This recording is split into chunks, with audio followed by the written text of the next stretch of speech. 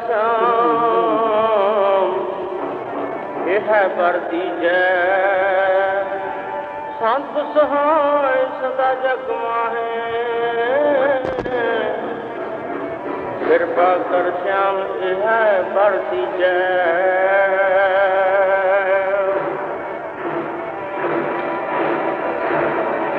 ਸੱਚੇ ਹਮ ਹੈ, ਨਹੀਂ ਕੀ ਕਿਰਪਾ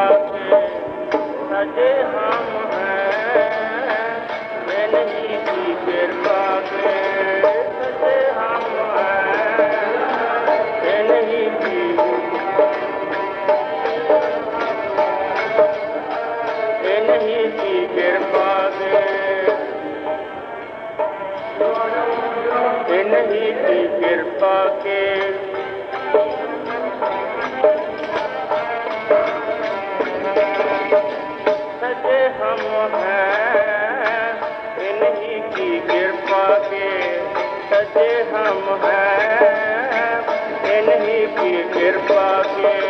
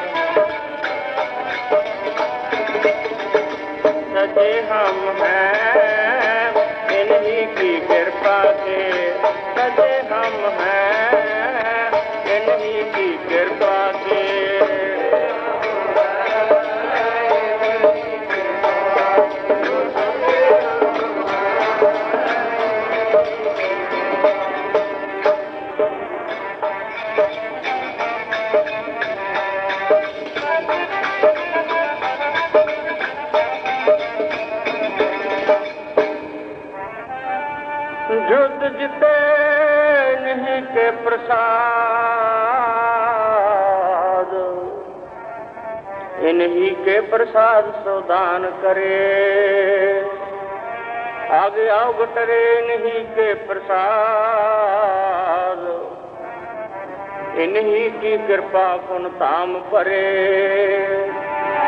ਇਨਹੀ ਕੇ ਪ੍ਰਸਾਦ ਸੋ ਵਿਦਿਆ ਲਈ। ਇਨਹੀ ਕੀ ਕਿਰਪਾ ਸਭ ਸਤਰ ਮਰੇ।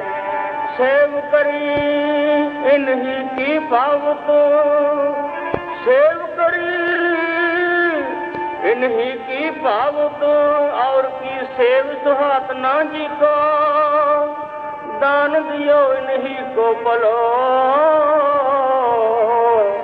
और आन को दाना लागतनी को आगे फले इन्हीं को दियो आगे फले इन्हीं को दियो जग में जस और दियो सब फीको। मोह ग्रह में तनते मनते।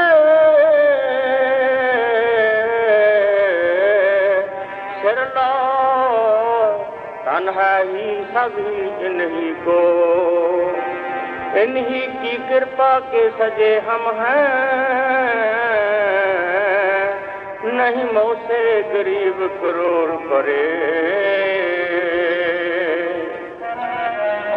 ਸੱਚ ਹਮ ਹੈ ਨਹੀਂ ਕੀ ਕਿਰਪਾ। ਸੱਚ ਹਮ ਹੈ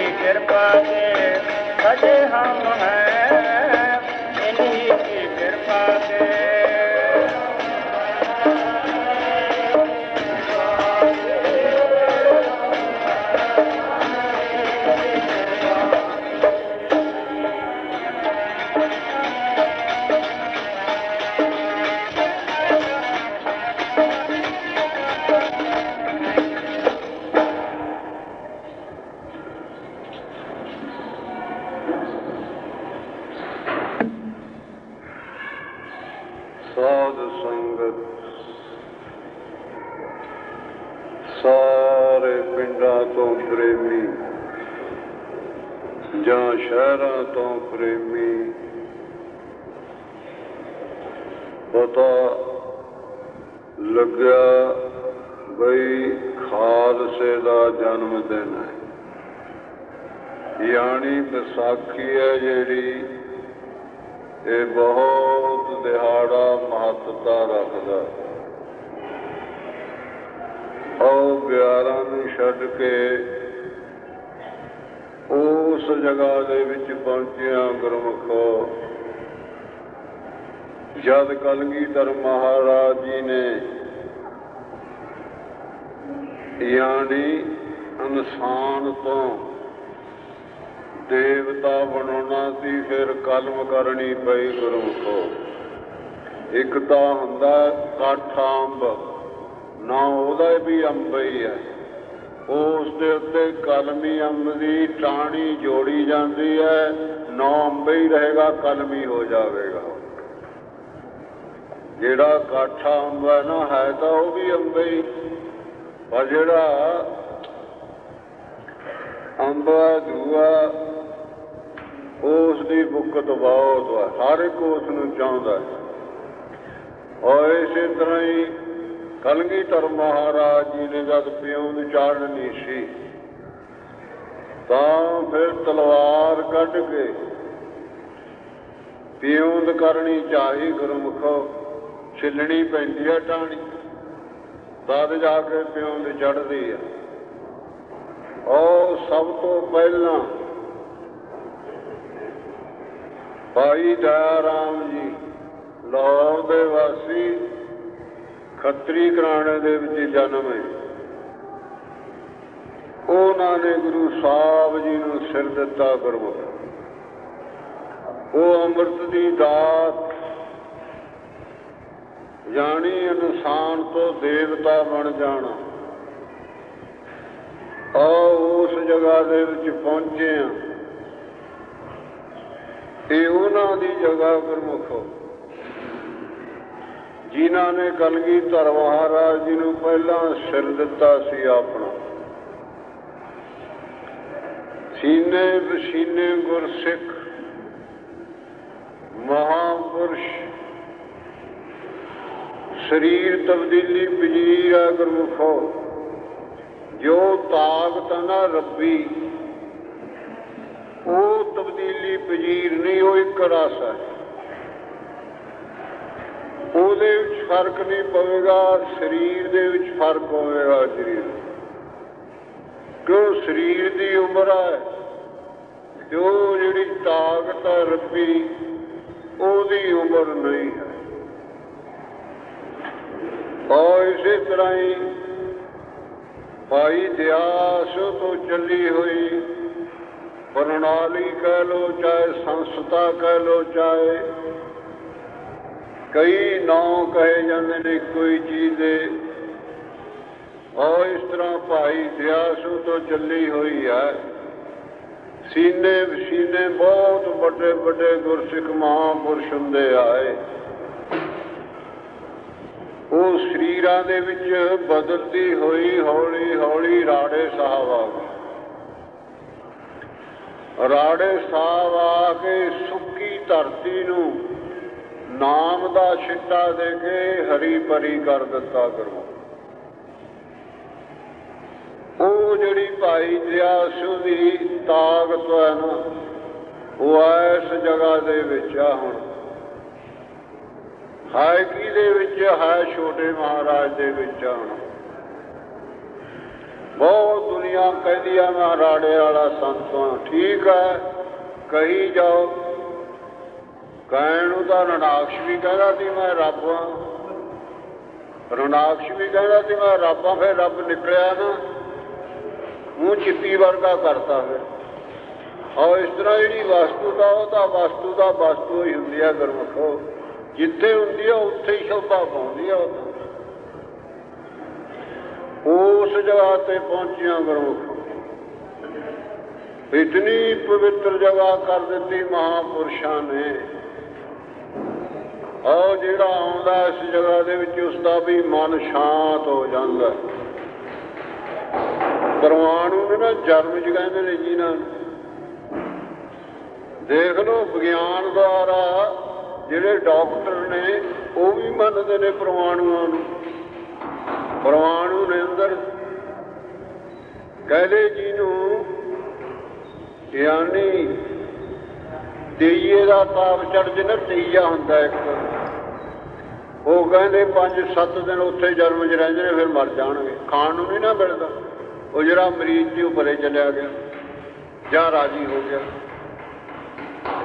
ਇਸੇ ਤਰ੍ਹਾਂ ਹੀ ਫਿਰ ਅੱਗੇ ਬੁਨਿਆਦੀ ਵਿਖਾਰ ਆ, ਉਹਦੇ ਵੀ ਜਨਮ ਨੇ ਜਿੱਥੇ ਉਹ ਰਹਿੰਦਾ, ਕਮਰੇ ਦੇ ਵਿੱਚ, ਉੱਥੇ 10 12 ਦਿਨ ਤਾਈਂ ਉੱਥੇ ਉਹ ਜਨਮ ਚ ਰਹਿੰਦੇ ਨੇ, ਫਿਰ ਉਹ ਮਰ ਜਾਂਦੇ ਨੇ ਬਸ। ਇੱਕ ਫਿਰ ਤਪ ਢਿੱਕਾ ਅੱਗੇ ਦੇ। ਉਹਦੇ ਵੀ ਜਨਮ ਨੇ।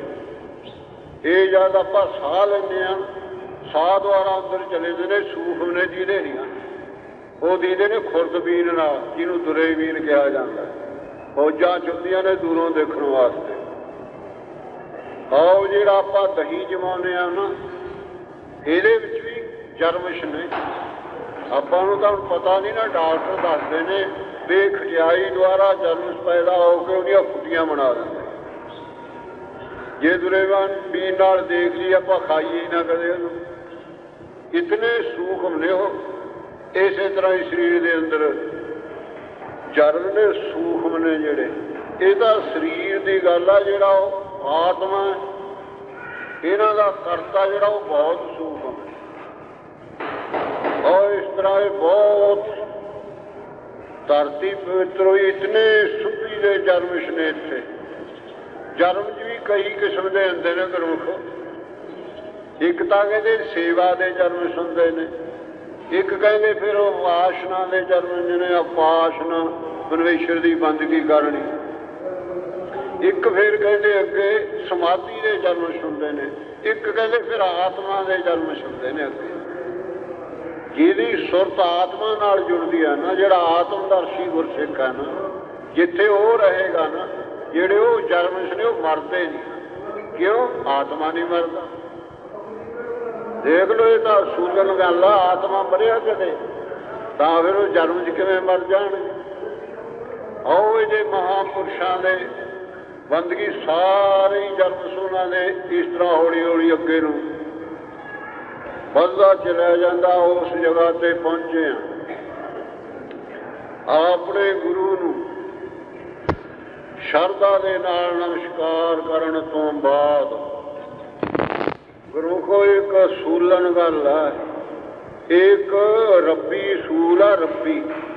ਇਹ ਵੀ ਸੂਖਮ ਹੈ ਇਹ ਵੀ ਸੂਖਮ ਹੈ ਜਿਹੜਾ ਰੱਬੀ ਸੂਲ ਹੁਣ ਆਪਾਂ ਨੂੰ ਇਹ ਨਹੀਂ ਪਤਾ ਵੀ ਮੇਰੇ ਅੰਦਰ ਕਿੰਨੀ ਸ਼ਰਧਾ ਹੈ, ਇਹ ਬਾਜੇ ਵਾਲੇ ਵਜਾਉਣ ਵਾਲੇ ਅੰਦਰ ਕਿੰਨੀ ਸ਼ਰਧਾ ਹੈ। ਇਹਦੀ ਸ਼ਰਧਾ, ਇਹ ਜਾਣਦਾ ਮੇਰੀ ਸ਼ਰਧਾ ਮੈਂ ਜਾਣਦਾ। ਜਾਂ ਜਾਂ ਪ੍ਰਕਾਸ਼ ਆ, ਸਾਹਮਣੇ ਗੁਰੂ ਇਹ ਜਾਣਦਾ ਆਓ ਜਿਹੜਾ ਸੌ ਦੀ ਸ਼ਰਧਾ ਨਾਲ ਗੁਰੂ ਨੂੰ ਨਮਸਕਾਰ ਕਰੇਗਾ, ਸਮਝੋ ਉਸ ਦਾ ਮਨ ਇਕਾਗਰ ਹੋ ਜਾਵੇ। ਜੇ ਥੋੜੀ ਨਾਲ ਕਰੇਗਾ, ਜਿਤਨਾ, ਜਿਤਨੀ ਰੇਸ ਉਤੇ ਸ਼ਰਧਾ ਨਾ, ਉਤਨਾ ਇਸ ਨੂੰ ਫਲ ਮਿਲ ਜਾਵੇਗਾ ਔਰ ਕਿਉਂ ਨਾ 100% ਨਾਲ ਸ਼ਰਧਾ ਨਾਲ ਨਮਸਕਾਰ ਕੀਤੀ ਜਾਵੇ ਗੁਰੂ ਨੂੰ। ਕਰਨੀ ਤਾਂ ਹੀ ਪਰ ਕਰਮਾਂ ਦੇ ਵਿੱਚ ਫ਼ਰਕ ਆ, ਸ਼ਰਧਾ ਦੇ ਵਿੱਚ ਫ਼ਰਕ ਆ ਗੁਰੂ ਇੱਕੋ ਜੀ ਸ਼ਰਧਾ ਨਹੀਂ ਹੋਵੇਗੀ ਕਦੇ ਵੀ ਕਿਸੇ ਦੀ, ਨਾ ਹੋਈ ਅੱਜ ਤਾਈਂ ਨਾ ਹੋਈ। ਕਈ ਤਾਂ ਇਹ ਜੇ ਸ਼ਰਧਾ ਵਾਲੇ ਆਉਂਦੇ ਨੇ, ਜਦ ਮਹਾਪੁਰਸ਼ਾਂ ਨੂੰ ਨਮਸਕਾਰ ਕਰਦੇ ਨੇ ਨਾ, ਉਹਨਾਂ ਦੀ ਸ਼ਰਧਾ ਇਹ ਹੋ ਜਾਂਦੀ ਹੈ ਵੀ ਇਹ ਤਾਂ ਸਾਖਾਤ ਪਰਮੇਸ਼ਰ ਹੈ। ਉਹ ਲੈ ਕੇ ਸਭ। ਜਿਨ੍ਹਾਂ ਦੇ ਨਹੀਂ ਹੈ ਜੇ ਘੱਟ ਵੱਧ ਹੈ। ਜਾਂ ਹੋਰ ਕਿਸੇ ਵਚਨ ਦੇ ਵਿੱਚ ਉਹਦੇ ਅੰਦਰ ਕੋਈ ਬਖਸ਼ੇਵਤਾ ਆਉਂਦੀ ਹੈ ਜਾਂ ਗੁਰੂ ਬਚਨ ਕਹਿੰਦਾ ਤਾਂ ਫਿਰ ਸਮਝੋ ਅਜੇ ਹੈ ਨਹੀਂ। ਜਿਹੜੀ 100 ਵੀ ਸਦਾ ਸਰਦਾ ਸਿੱਖ ਤੇ ਗੁਰੂ ਤੇ, ਉਹ ਤਾਂ ਫਿਰ ਜੋ ਗੁਰੂ ਕਹੇਗਾ ਤਾਂ ਉੱਥੇ ਹੀ ਖੜ ਜਾਵੇਗਾ ਗੁਰੂ। ਉਹ ਫਿਰ ਕਿੰਤੂ ਨਹੀਂ ਕਰੇਗਾ। ਜਿੱਥੇ ਕਿੰਤੂ ਆ, ਉੱਥੇ ਤਾਂ ਸ਼ਰਧਾ ਹੀ ਨਹੀਂ ਹੈ, ਉਪਰੀ ਉਪਰੀ ਆ ਉਹ ਤਾਂ। ਨਹੀਂ, ਸੌ ਵੀ ਸਦੀ ਆਪਣੇ ਗੁਰੂ ਤੇ ਜਾਂ ਮਹਾਪੁਰਸ਼ਾਂ ਤੇ। ਜਿਹਨੂੰ ਇਹ ਮੰਨਦਾ ਉਹਦੇ ਤੇ ਸ਼ਰਧਾ। ਤਦ ਜਾ ਕੇ ਜਿਗਿਆਸੂ ਦਾ ਕਾਰਜ ਰਾਸ ਹੋਵੇਗਾ, ਵਰਨਾ ਨਹੀਂ ਹੋਣਾ ਨਹੀਂ ਹੈ। ਬਹੁਤ ਇਸ ਤਰ੍ਹਾਂ ਦੇ ਪ੍ਰਸੰਗ ਆਉਂਦੇ ਨੇ ਗੁਰਮੁਖੋ। ਸਾਨੂੰ ਤਾਂ ਅੱਖਾਂ ਦੇ ਐਨ ਸਾਹਮਣੇ ਗੱਲਾਂ ਇਹ ਵਾਪਰਦੀਆਂ ਰਹੀਆਂ ਨੇ, ਸਾਨੂੰ ਕੋਈ ਭੁਲੇਖਾ ਨਹੀਂ ਪਾ ਸਕਦਾ ਬਸ। ਜੇ ਤਾਂ ਅਸੀਂ ਭੁਲੇਖੇਬਾਜ਼ੀ 'ਚ ਰਹੇ ਹੋਈਏ, ਤਾਂ ਤਾਂ ਕਦੀ ਭੁਲੇਖਾ ਪੈ ਹੀ ਜਾਵੇ। ਨਹੀਂ, ਸਾਡਾ ਤਾਂ ਭੁਲੇਖਾ ਹੀ ਨਹੀਂ ਰਿਹਾ ਇਹ ਗੱਲ ਅਲੱਗਾ ਵੀ ਸਾਨੂੰ ਇਹ ਵਾਸਤਾ ਪ੍ਰਾਪਤ ਨਹੀਂ ਹੋਏ ਸਾਡੇ 'ਚ ਕਸੂਰ ਹੈ। ਪਰ ਉਹ ਜਿਹੜੇ ਮਹਾਪੁਰਸ਼ ਦੀ ਜਾਂ ਹੁਣ ਨੇ, ਇਹਨਾਂ ਦੇ ਵਿੱਚ ਫ਼ਰਕ ਨਹੀਂ ਹੈ। ਔਰ ਇਸ ਤਰ੍ਹਾਂ ਆਪਣੇ ਗੁਰੂ ਨੂੰ ਸ਼ਰਧਾ ਦੇ ਨਾਲ ਨਮਸਕਾਰ ਕਰੋ। ਫੇਰ ਜਿੱਥੇ ਜਗ੍ਹਾ ਮਿਲਦੀ ਆ, ਬੀਬੀਆਂ ਬੀਬੀਆਂ ਵਾਲੇ ਪਾਸੇ ਬੈਠੀ ਜਾਓ। ਭਾਈ ਭਾਈਆਂ ਵਾਲੇ ਪਾਸੇ ਬੈਠੀ ਜਾਓ। ਗੁਰੂ ਦੀ ਹਜ਼ੂਰੀ ਜਿਸ ਵਾਸਤੇ ਆਏ ਆ ਗੁਰੂ ਹੁੰਦਾ ਉਸਦੀ ਤਾਕਤ ਤੋਂ ਵਿਚਾਰ ਦੁਆਰਾ ਪ੍ਰਗਟ ਹੁੰਦੀ ਹੈ। ਔਰ ਇਹ ਖਾਲਸੇ ਦਾ ਜਨਮ ਦਿਨ ਹੈ ਵਿਸਾਖੀ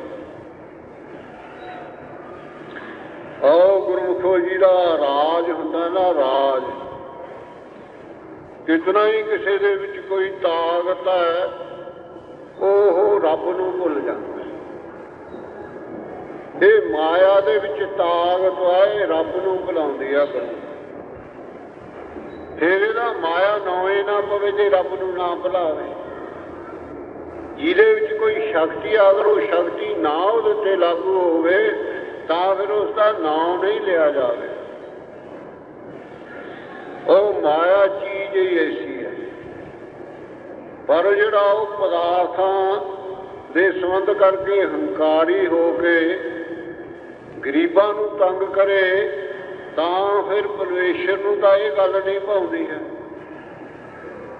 ਹੁਣ ਉਹ ਤਾਂ ਮਾਇਆ ਕਰਕੇ ਗਿਆਨੀ ਹੋ ਗਿਆ। ਉਹਦਾ ਕਹਿੰਦਾ, ਮਹੀ ਰੱਬਾਂ ਦਾ ਸੋਰਤਾ ਹੈ ਹੀ ਨਹੀਂ ਰੱਬ। ਰਣਾਕਸ਼ ਨੇ ਵੀ ਕਹੇ, ਦਿੱਤਾ ਸੀ ਵੀ ਮਹੀ ਰੱਬਾਂ, ਬਾਕੀ ਕੋਈ ਰੱਬ ਰੂਪ ਨਹੀਂ ਹੈ। ਹੁਣ ਵੀ ਬਹੁਤ ਕਹਿੰਦੇ ਨੇ, ਬਹੁਤ ਦੇਖੇ ਨੇ ਗੁਰੂ। ਬਹੁਤ ਗੱਲਾਂ ਸੁਣਦੇ ਰਹਿੰਦੇ ਆ ਅਸੀਂ। ਬਾਹਰ ਅੰਦਰਲੀਆਂ ਵੀ, ਹੋਰ ਵੀ, ਹੋਰ ਗ੍ਰੰਥਾਂ ਦੁਆਰਾ ਵੀ, ਮਹਾਂਪੁਰਸ਼ਾਂ ਦੁਆਰਾ ਵੀ, ਸਾਰੇ ਮਤਾਂ ਦੇ ਸਾਡੇ ਕੋਲ ਆਉਂਦੇ ਨੇ ਪ੍ਰੇਮ ਔਰ ਜਿਹੜਾ ਹੰਕਾਰ ਆ, ਇਹ ਮਾਇਆ ਕਰਕੇ ਆਉਂਦਾ ਹੈ। ਔਰ ਰੰਗਜੀਤ ਚੱਕਰਵਰਤੀ ਰਾਜਾ ਸੀ, ਚੱਕਰਵਰਤੀ। ਆਉਣ ਤਾਂ ਡੈਮੋਕ੍ਰੇਸੀ ਹੈ ਨਾ ਆਪਣੀ ਤਾਂ। ਚੱਕਰਵਰਤੀ ਰਾਜਾ ਉਸ ਨੂੰ ਕਹਿੰਦੇ ਨੇ ਜਿਹਦੇ ਉੱਤੇ ਕਿਸੇ ਦਾ ਹੁਕਮ ਹੋਰ ਨਾ ਹੋਵੇ। ਜੋ ਉਹ ਗੱਲ ਟੁੱਕ ਦਵੇ ਨਾ, ਬਾ ਉਸੇ ਤਰ੍ਹਾਂ ਹੀ ਹੋਵੇਗੀ। ਅਗਰ ਜੇ ਉੱਤੇ ਹੋਰ ਆ, ਤਾਂ ਤਾਂ ਫਿਰ ਉਹਨੂੰ ਫੜ ਲੈਣਗੇ। ਆ ਡੈਮੋਕ੍ਰੇਸੀ ਦੇਖ ਲਓ, ਕੋਈ ਜ਼ੁਲਮ ਕਰੇ ਤਾਂ ਦੂਏ ਮੁਲਕ ਨੇ ਜਿਹੜੇ ਇਕੱਠੇ ਹੋ ਕੇ ਵਾ ਫਤਵਾ ਲਾ ਦਿੰਦੇ ਨੇ। ਇਸ ਤਰ੍ਹਾਂ ਜਿਹੜਾ ਚੱਕਰਵਰਤੀ ਹੁੰਦਾ ਰਾਜਾ, ਉਹਦੇ ਉੱਤੇ ਹੋਰ ਕਿਸੇ ਦੀ ਹਕੂਮਤ ਨਹੀਂ ਹੁੰਦੀ, ਉਹ ਜੋ ਮਰਜ਼ੀ ਕਰੇ ਉਸੇ ਦੀ ਜ਼ਬਾਨ ਹੁੰਦੀ ਹੈ। ਆਓ, ਇਹ ਮਤ ਦਾ ਕੁਦਰਤੀ ਹੁੰਦਾ ਗੁਰਮੁਖੋ ਜਿਹੜੇ ਹਕੂਮਤ ਹੁੰਦੀ ਹੈ। ਦੋ ਹੀ ਮਤ ਚੱਲੇ ਆਏ ਨੇ ਦੁਨੀਆ ਦੇ ਵਿੱਚ ਬੜੇ। ਬਾਕੀ ਤਾਂ ਸਾਖਾਂ ਜਿਹੀਆਂ ਹੁੰਦੀਆਂ ਨੇ। ਇੱਕ ਤਾਂ ਸੀਗਾ ਸਲਾਮ, ਜਿਹਨੂੰ ਬਾਬਾ ਮੁਸਲਮਾਨ ਕਹਿੰਦੇ ਆ। ਇੱਕ ਸੀਗਾ ਹਿੰਦੂ, ਜਿਹਨੂੰ ਹਿੰਦੂ ਕਹਿੰਦੇ ਆ। ਇਸ ਤਰ੍ਹਾਂ ਔਰੰਗਜ਼ੇਬ ਦਾ ਚੱਕਰਵਰਤੀ ਰਾਜ। ਤਾਂ ਜਿੱਥੇ ਦਵੰਦ ਪਾਦਾ ਗੁਰੂ ਕੋ, ਦਵੰਦ ਪਦ। ਜਿੱਥੇ ਦੋ ਜਿਹਨੇ ਨੇ ਨਾ ਦੋ। ਉਹ ਜਿਹੜਾ ਦਵੰਦ ਪਾਦਾ ਉਹ ਚਾਹੁੰਦਾ ਵੀ ਇਸ ਨੂੰ ਘਟਾ ਕੇ ਮਲਿਆ ਮੇਟ ਕਰਕੇ ਕੋਈ ਕਰਦੇ ਆ ਕੱਢਦੇ ਆ ਵਿੱਚੋਂ ਦਵੰਦ ਪਦ ਇਸ ਤਰ੍ਹਾਂ ਉਹਦਾ ਖਿਆਲ ਹੋ ਜਾਂਦਾ ਹੈ। ਪਰ ਇਹ ਨਿਕਲੇਗਾ ਨਹੀਂ। ਹਾਂ ਜੇ ਕਿਸੇ ਇਨਸਾਨ ਦਾ ਬਣਾਇਆ ਹੋਵੇ ਨਾ, ਉਹ ਤਾਂ ਨਿਕਲ ਵੀ ਸਕਦਾ।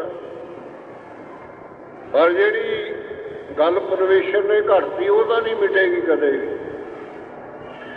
ਆਓ ਕਾਜੀ ਮਲਾਣੇ, ਜਿਸ ਤਰ੍ਹਾਂ ਆਮ ਸਾਰੀਆਂ ਸਚਾਈਆਂ ਦੇ ਜੋ ਕੁਝ ਵੀ ਹੈ, ਹੁੰਦੇ ਨੇ ਬਹੁਤ, ਤਾਂ ਉਹਨਾਂ ਨੇ ਫਿਰ ਔਰੰਗਜ਼ੇਬ ਨੂੰ ਸਿਖਾਉਣਾ ਸ਼ੁਰੂ ਕਰਿਆ। ਆ ਰਾਜਾ ਸਲਾਮਤ ਅੱਜ ਤੇਰਾ ਦੁਨੀਆ ਤੇ ਬੋਲਬਾਲਾ ਬੋਲਬਾਲਾ ਵੀ ਹਕੂਮਤ ਹੈ ਤੂੰ ਜੋ ਮੂੰਹ ਕੱਢ ਦੇਗਾ ਉਸ ਨੂੰ ਕੋਈ ਮੋੜ ਨਹੀਂ ਸਕਦਾ, ਨਾ ਮੇਟ ਸਕਦਾ। ਤੂੰ ਇਹੋ ਘਰ ਦੋ ਮਜਬ ਨੇ ਦੁਨੀਆ ਦੇ ਵਿੱਚ। ਤੂੰ ਦੋ ਤੋਂ ਇੱਕ ਕਰਦੇ ਇਸਲਾਮ ਦਾ ਝੰਡਾ ਚਲਾ ਦੇ, ਜਾਂ ਤੇਰੇ ਵਾਸਤੇ ਵਿਸਤਾਂ ਦੇ ਦਰਵਾਜ਼ੇ ਖੁੱਲ ਜਾਣ। ਹੁਣ ਜਿਹੜੇ ਸਿਖਾਉਣ ਵਾਲੇ ਨੇ, ਉਹ ਵੀ ਗਿਆਨੀ। ਜਿਹੜਾ ਸੁਣਨ ਵਾਲਾ, ਉਹ ਵੀ ਗਿਆਨੀ ਹੈ। ਜੇ ਵਿਚਾਰ ਵਾਲਾ ਹੋਵੇ, ਤਾਂ ਇਹ ਗੱਲ ਹੋਏ ਨਹੀਂ ਸਕਦੀ। ਗੁਰੂ ਇਸ ਤਰ੍ਹਾਂ ਸਿਖਾਉਂਦੇ ਰਹੇ। ਉਸ ਦੇ ਮਨ ਦੇ ਉੱਤੇ ਅਸਰ ਹੋਣ ਲੱਗ ਗਿਆ। ਅਸਰ ਹੋਏ ਜਾਂਦਾ ਸੰਗਤ ਦਾ। ਕਿ ਸੰਗਤ ਦਾ ਵੀ ਅਸਰ ਹੋ ਜਾਂਦਾ, ਸੰਗਤ ਦਾ ਵੀ ਅਸਰ ਹੋ ਜਾਂਦਾ। ਤਾਂ ਉਸਨੇ ਸੋਚਦਿਆਂ ਸੋਚਦਿਆਂ ਕਹਿੰਦਾ ਵੀ ਗੱਲ ਤਾਂ ਤੁਹਾਡੀ ਠੀਕ ਹੈ। ਗੱਲ ਤਾਂ ਠੀਕ ਹੈ, ਜੇ ਇੱਕੋ ਹੀ ਕਰ ਦਈਏ ਦੋ ਤੋਂ ਫਿਰ ਰੌਲਾ ਹੀ ਮੁੱਕ ਜਾਵੇਗਾ। ਰੌਲਾ ਤਾਂ ਤਾਂ ਮੁੱਕਦਾ ਹੈ। ਜੇ ਪਰਮੇਸ਼ਰ ਦੀ ਨਾ ਕਰੀ ਹੋਵੇ ਕੋਈ ਚੀਜ਼ ਉਹਦਾ ਪਦਾਰਥਾਂ ਕਰਕੇ ਹਕੂਮਤ ਦਾ ਨਾ ਹੋਇਆ ਤੇ ਤਾਂ ਪਤਾ ਨਹੀਂ ਕਿਹਦਾ ਨਹੀਂ ਹੈ। ਚੰਗੇ ਭਲੇ ਦੀ ਸੂਝ ਨਹੀਂ ਤੇ ਜਿਹਨੂੰ ਕਮਲ ਪਾ ਚੜ ਜਾਵੇ। ਇਹ ਹੁੰਦਾ ਜਾਂ ਕੋਈ ਨਸ਼ਾ ਪੀ ਲਵੇ। ਹਕੂਮਤ ਦਾ ਵੀ ਨਸ਼ਾ ਹੁੰਦਾ ਇੱਕ ਕਰਮ ਆਹ ਦੱਸਿਆ ਵੀ ਇਹ ਜਿਹੜਾ ਹੰਕਾਰ ਨਾ, ਹੰਕਾਰ। ਉਹ ਜਿਹੜਾ ਪਰਮੇਸ਼ਰ ਆਪਾਂ ਨੂੰ ਦੀਦਾ ਨਹੀਂ ਹੈ ਕਹਿੰਦੇ ਉਹਨੂੰ ਇਹ ਹੰਕਾਰ ਪਾਉਂਦਾ ਨਹੀਂ ਪੜੋ ਪ੍ਰੇਮ ਦੇ ਨਾਲ ਇਹਨੂੰ ਤੇ ਤਿੰਨ ਸਹਿਜ ਬੋਲਿਓ। ਵੇਦ ਮਾਰ ਕੇ ਸੁਣਾਵੇ ਤੁਕਾਂ ਭਾਵੇ ਨਮਕਾਰ ਹਰੀ ਨੂੰ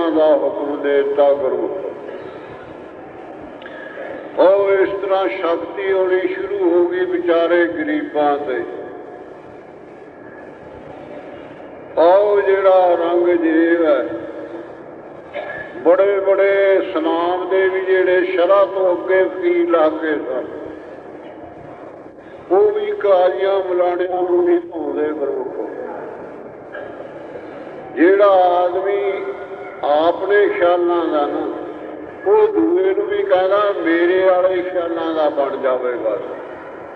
ਜਿਹੜੇ ਤਾਂ ਹਨ ਪਾਪੀ, ਉਹ ਤਾਂ ਕਹਿੰਦੇ ਨੇ, ਸਾਰੇ ਪਾਪੀ ਬਣ ਜਾਣ ਪਏ ਆ ਇਸ ਤਰ੍ਹਾਂ ਦਾ ਆਪੋ ਆਪਣਾ ਖਿਆਲ ਹੁੰਦਾ, ਜਿਹੜੇ ਪੁੰਨੀ ਨੇ, ਉਹ ਕਹਿੰਦੇ ਨੇ, ਸਾਰੇ ਪੁੰਨੀ ਹੀ ਬਣ ਜਾਣ ਬਸ। ਜਿਹੜੇ ਸੇਵਾ ਕਰਦੇ ਨੇ, ਉਹ ਕਹਿੰਦੇ ਸਾਰੀ ਦੁਨੀਆ ਸੇਵਾ ਕਰਨ ਲੱਗ ਜਾਓ। ਜਿਹੜੇ ਬੰਦਗੀ ਕਰਦੇ ਨੇ, ਉਹ ਕਹਿੰਦੇ ਵੀ ਸਾਰੀ ਦੁਨੀਆ ਹੀ ਬੰਦਗੀ ਕਰਨ ਲੱਗ ਜਾਵੇ ਜਿਹੜੇ ਅੱਗੇ ਸਮਾਧੀ ਵਾਲੇ ਨੇ, ਉਹ ਕਹਿੰਦੇ ਨੇ ਸਾਰੀ ਦੁਨੀਆ ਸਮਾਧੀ ਹੀ ਲਾਉਣ ਲੱਗ ਜਾਵੇ। ਜਿਹੜੇ ਅੱਗੇ ਫਿਰ ਆਤਮਦਰਸ਼ੀ ਨੇ, ਉਹ ਕਹਿੰਦੇ ਸਾਰੀ ਦੁਨੀਆ ਆਤਮਦਰਸ਼ੀ ਬਣ ਜਾਵੇ।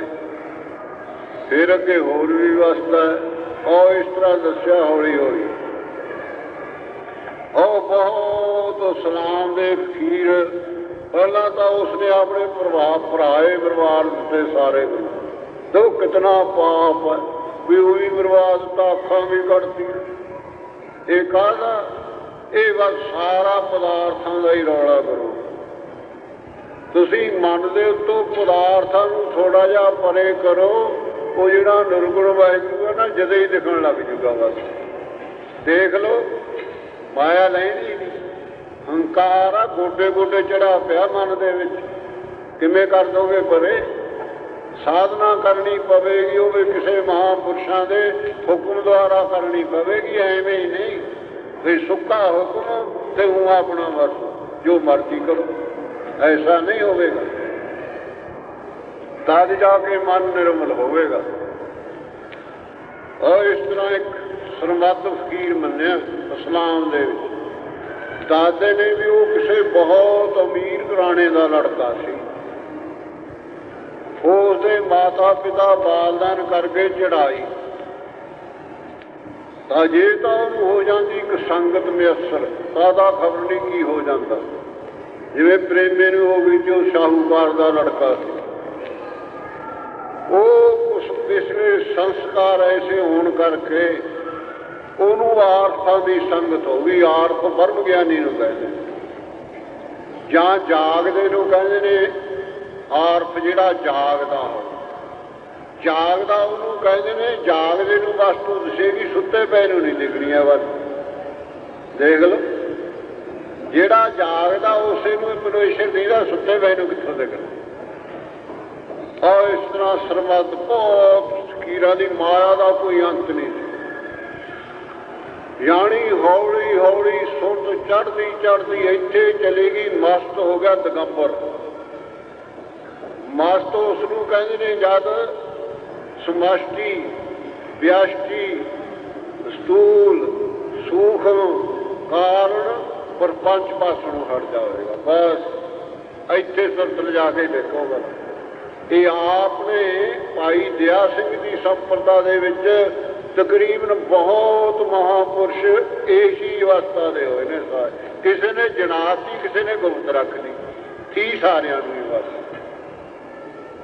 ਇਹਨੂੰ ਬਦੇ ਕਹਿੰਦੇ ਨੇ ਨਾ ਬਦੇ ਸਰੀਰ ਦਾ ਪਤਾ ਨਹੀਂ ਲੱਗਦਾ ਹੁੰਦਾ। ਸਰੀਰ ਦਾ ਪਤਾ ਤਦੇ ਨਹੀਂ ਲੱਗੇਗਾ ਜਾਂ ਸੁਰਤ ਆਤਮਾ 'ਚ ਚਲੀ ਜਾਵੇਗੀ। ਜੇ ਜੇ ਆਤਮਾ ਤੋਂ ਉਰੇ ਆ, ਤਾਂ ਫਿਰ ਉਹ ਤਰੁੱਟੀ ਭਾਸਦੀ ਹੈ। ਤ੍ਰਿਪਤੀ ਹੈ ਨਾ ਜਿਹੜੀ ਉਹ ਭਾਸਦੀ ਰਹਿੰਦੀ ਆ ਸਮਝੋ ਜੇ ਨਹੀਂ ਉਹ ਗੱਲ ਬਣੀ ਹੈ ਜਦ ਤ੍ਰਿਪਤੀ ਵੀ ਲੀਨ ਹੋ ਜਾਵੇਗੀ ਨਾ ਫਿਰ ਉਹ ਅਵਸਥਾ ਹੋਵੇਗਾ ਰਹੇਗਾ ਸਰੀਰ ਤੇ ਅਵਸਥਾ ਪ੍ਰਾਪਤ ਹੋ ਗਈ ਰਹੇਗਾ ਸਰੀਰ ਦੇ ਵਿੱਚ ਸਰੀਰ ਚੋਂ ਬਾਹਰ ਨਹੀਂ ਜਾਵੇਗਾ ਇਹ ਹੈ ਵੀ ਅਵਸਥਾ ਸਰੀਰ ਚ ਬਾਹਰ ਹੈ ਨਹੀਂ ਕਿਤੇ ਨਾ ਮਾਇਆ ਨਾ ਮਿਲਣੀ ਹੈ ਨਾ ਧੱਕੇ ਨਾ ਮਿਲਣੀ ਵਾ ਜਿਹੜਾ ਅਸੂਲ ਆ ਪਰਮੇਸ਼ਰ ਦਾ ਉਸ ਦੁਆਰਾ ਹੀ ਇਹ ਪ੍ਰਾਪਤ ਹੋਵੇਗੀ ਔਰ ਇਸ ਤਰ੍ਹਾਂ ਦਿਗੰਬਰ ਖੜਾ ਝੂਲਦਾ ਗੁਰੂ ਸ਼ਾਹੀ ਬਹਾਦਰ ਦੇ ਸਾਹਮਣੇ ਚੌਂਕ ਆ, ਉੱਥੇ ਖੜਾ ਰਹਿੰਦਾ। ਕੋਈ ਪਤਾ ਨਹੀਂ ਦੁਨੀਆ ਕਿੱਥੇ ਦੁਨੀਆ ਤਾਂ ਇੱਕ ਮਨ ਦੀ ਕਲਪੀ ਹੋਈ ਹੈ, ਜਿਹਨੂੰ ਆਪਾਂ ਮਨ ਕਹਿੰਦੇ ਆ ਪੁਰਨਾ। ਲਾ ਤੁਸੀਂ ਕਿਤੇ ਕਿਤੇ ਆਪਣਾ ਇਸ ਨੂੰ ਪਰਖ ਵੀ ਕਰਕੇ ਦੇਖ ਲਿਆ ਕਰੋ। ਪਰਖ ਆਪਾਂ ਕਰਦੇ ਹੀ ਨਹੀਂ ਆ।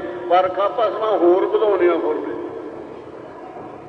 ਹੋਰ ਦੁਨੀਆ ਬਣਾਉਂਦੇ ਆ ਨਵੀਆਂ ਦੁਨੀਆ ਬਣਾ ਦਿੰਦੇ ਨਵੀਂ ਹੋਈ। ਆ ਜਿਹੜੀ ਬਣੀ ਹੋਈ ਹੈ ਤਾਂ ਠੀਕ ਆ, ਆਪਾਂ ਹੋਰ ਬਣਾ ਲੈਂਦੇ ਆ ਆਪਣੀਆਂ ਦੁਨੀਆ ਉਹਦੇ 'ਚ ਫਸ ਜਾਂਦੇ ਆ। ਨਹੀਂ, ਤੁਸੀਂ ਮਨ ਨੂੰ ਨਾਮ ਦੇ ਨਾਲ ਇਕਾਗਰ ਕਰਕੇ ਦੇਖੋ, ਦੁਨੀਆ ਭੁੱਲਣੀ ਸ਼ੁਰੂ ਹੋ ਦੁਨੀਆ ਕਦ ਭੁੱਲੇਗੀ? ਕਦ ਭੁੱਲੇਗੀ ਦੁਨੀਆ? ਪਹਿਲਾਂ ਇਹ ਪਹਿਲਾਂ ਇਹਨੂੰ ਆਪਣਾ ਸਰੀਰ ਭੁੱਲੇਗਾ। ਜੇ ਸਰੀਰ ਨਹੀਂ ਭੁੱਲਦਾ, ਦੁਨੀਆ ਵੀ ਨਹੀਂ ਭੁੱਲਣੀ। ਨਾ ਦੇਖ ਲਓ ਤੁਸੀਂ। ਵਿਚਾਰ ਆਏ ਤਾਂ, ਜਿਨ੍ਹਾਂ ਨੇ ਕਰਿਆ, ਉਹਨਾਂ ਨੂੰ ਪਤਾ ਵੀ ਕਿਵੇਂ ਭੁੱਲਦੀ ਹੁੰਦੀ ਹੈ।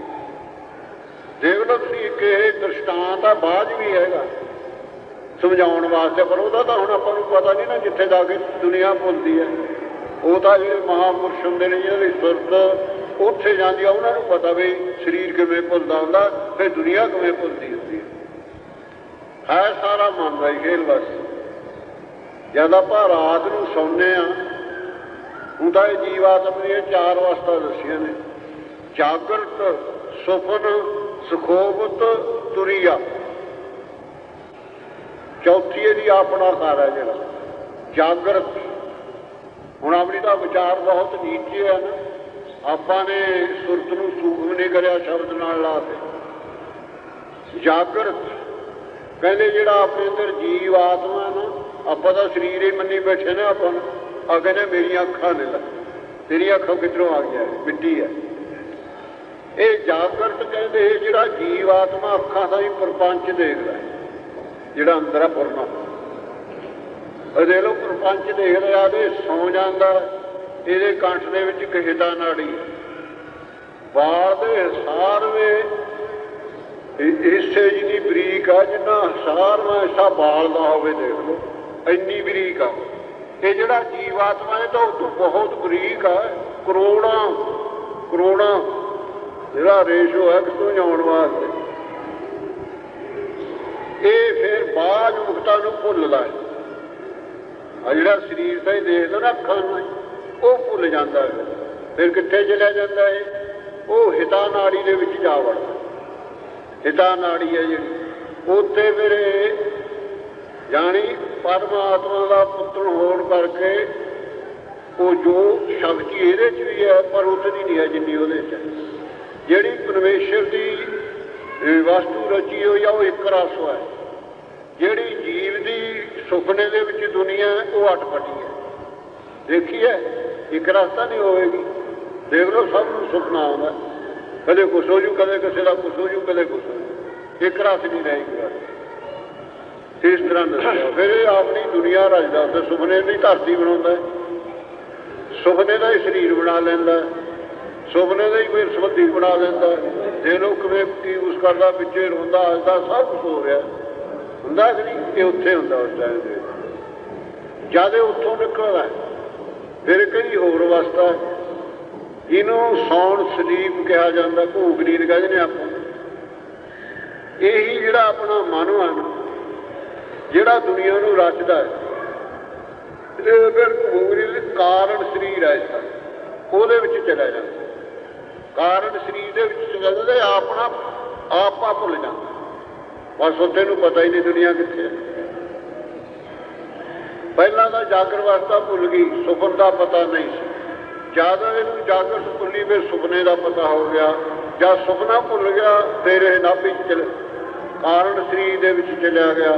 ਇਸ ਦਾ ਜਿਹੜਾ ਤਿੰਨਾਂ ਹੀ ਅਵਸਥਾ ਦਾ ਜਿਹੜਾ ਸਾਖੀ ਹੈ ਨਾ, ਤੁਰੀਆ। ਸਾਖੀ ਹੈ ਨਾ। ਦੇਖ ਲਓ ਤੁਸੀਂ। ਕੋਈ ਆਦਮੀ ਕੀ ਕੂਕ ਨੇ ਸੁੱਤਾ ਪਿਆ ਹੋਵੇ, ਥੱਕਿਆ ਹੋਵੇ ਉਹ, ਤੁਸੀਂ ਉਸ ਨੂੰ ਜਗਾ ਦਿਓ। ਉਹ ਕੀ ਕਹੇਗਾ ਉੱਠ ਕੇ? ਵੀ ਤੇਰਾ ਬੜੀ ਮਾੜੀ ਗੱਲ ਕਰੀ, ਮੈਂ ਤਾਂ ਬਹੁਤ ਆਰਾਮ ਨਾਲ ਸੁੱਤਾ ਪਿਆ ਸੀ। ਉਹ ਕਹਿੰਦਾ ਕੌਣ ਆ? ਆਰਾਮ ਤੁਰਿਆ ਕਹਿੰਦਾ ਤੁਰਿਆ ਦੇ। ਇਸ ਤਰ੍ਹਾਂ ਦੱਸਿਆ ਜਿਹੜਾ, ਆਓ ਜਾਦੇ ਦਾ ਜਿਹੜਾ ਮਨ ਹੈ ਨਾ। ਤੇ ਇਹ ਫਿਰ ਹੌਲੀ ਹੌਲੀ ਮਹਾਪੁਰਸ਼ਾਂ ਦੇ ਹੁਕਮਾਂ ਅਨੁਸਾਰ ਜੋ ਕਣ ਕਹਿਣਗੇ ਉਕਣ ਚੱਲੇਗਾ। ਤਾਦੇ ਵਾਸਤਾ ਪ੍ਰਾਪਤ ਹੋ ਗਈ, ਵਰਨਾ ਹੋਣੀ ਨਹੀਂ, ਲਿਖੀ ਹੋਈ ਜ਼ਰੂਰ ਆ, ਪੜ੍ਹ ਲਓ। ਪੜ੍ਹ ਲਓ, ਨਹੀਂ ਭੁੱਖ ਮਿਟੇਗੀ। ਜੇ ਤੁਸੀਂ ਕਹੀ ਜਾਂ ਰੋਟੀ ਰੋਟੀ ਪਈ ਮੂਹਰੇ ਹੈ ਜਦ ਜਿੰਨਾ ਚਿਰ ਛਕਦੇ ਨਹੀਂ, ਲਾ ਕੇ ਸਬਜ਼ੀ ਕਿਵੇਂ ਭੁੱਖ ਦੂਰ ਹੋ ਜਾਵੇਗੀ? ਨਹੀਂ ਹੋਣੀ ਪੜੋ ਪ੍ਰੇਮ ਨਾਲ, ਸਾਰਾ ਕਰਤੱਵ ਕਰੇ ਤੇ ਹੀ खण खड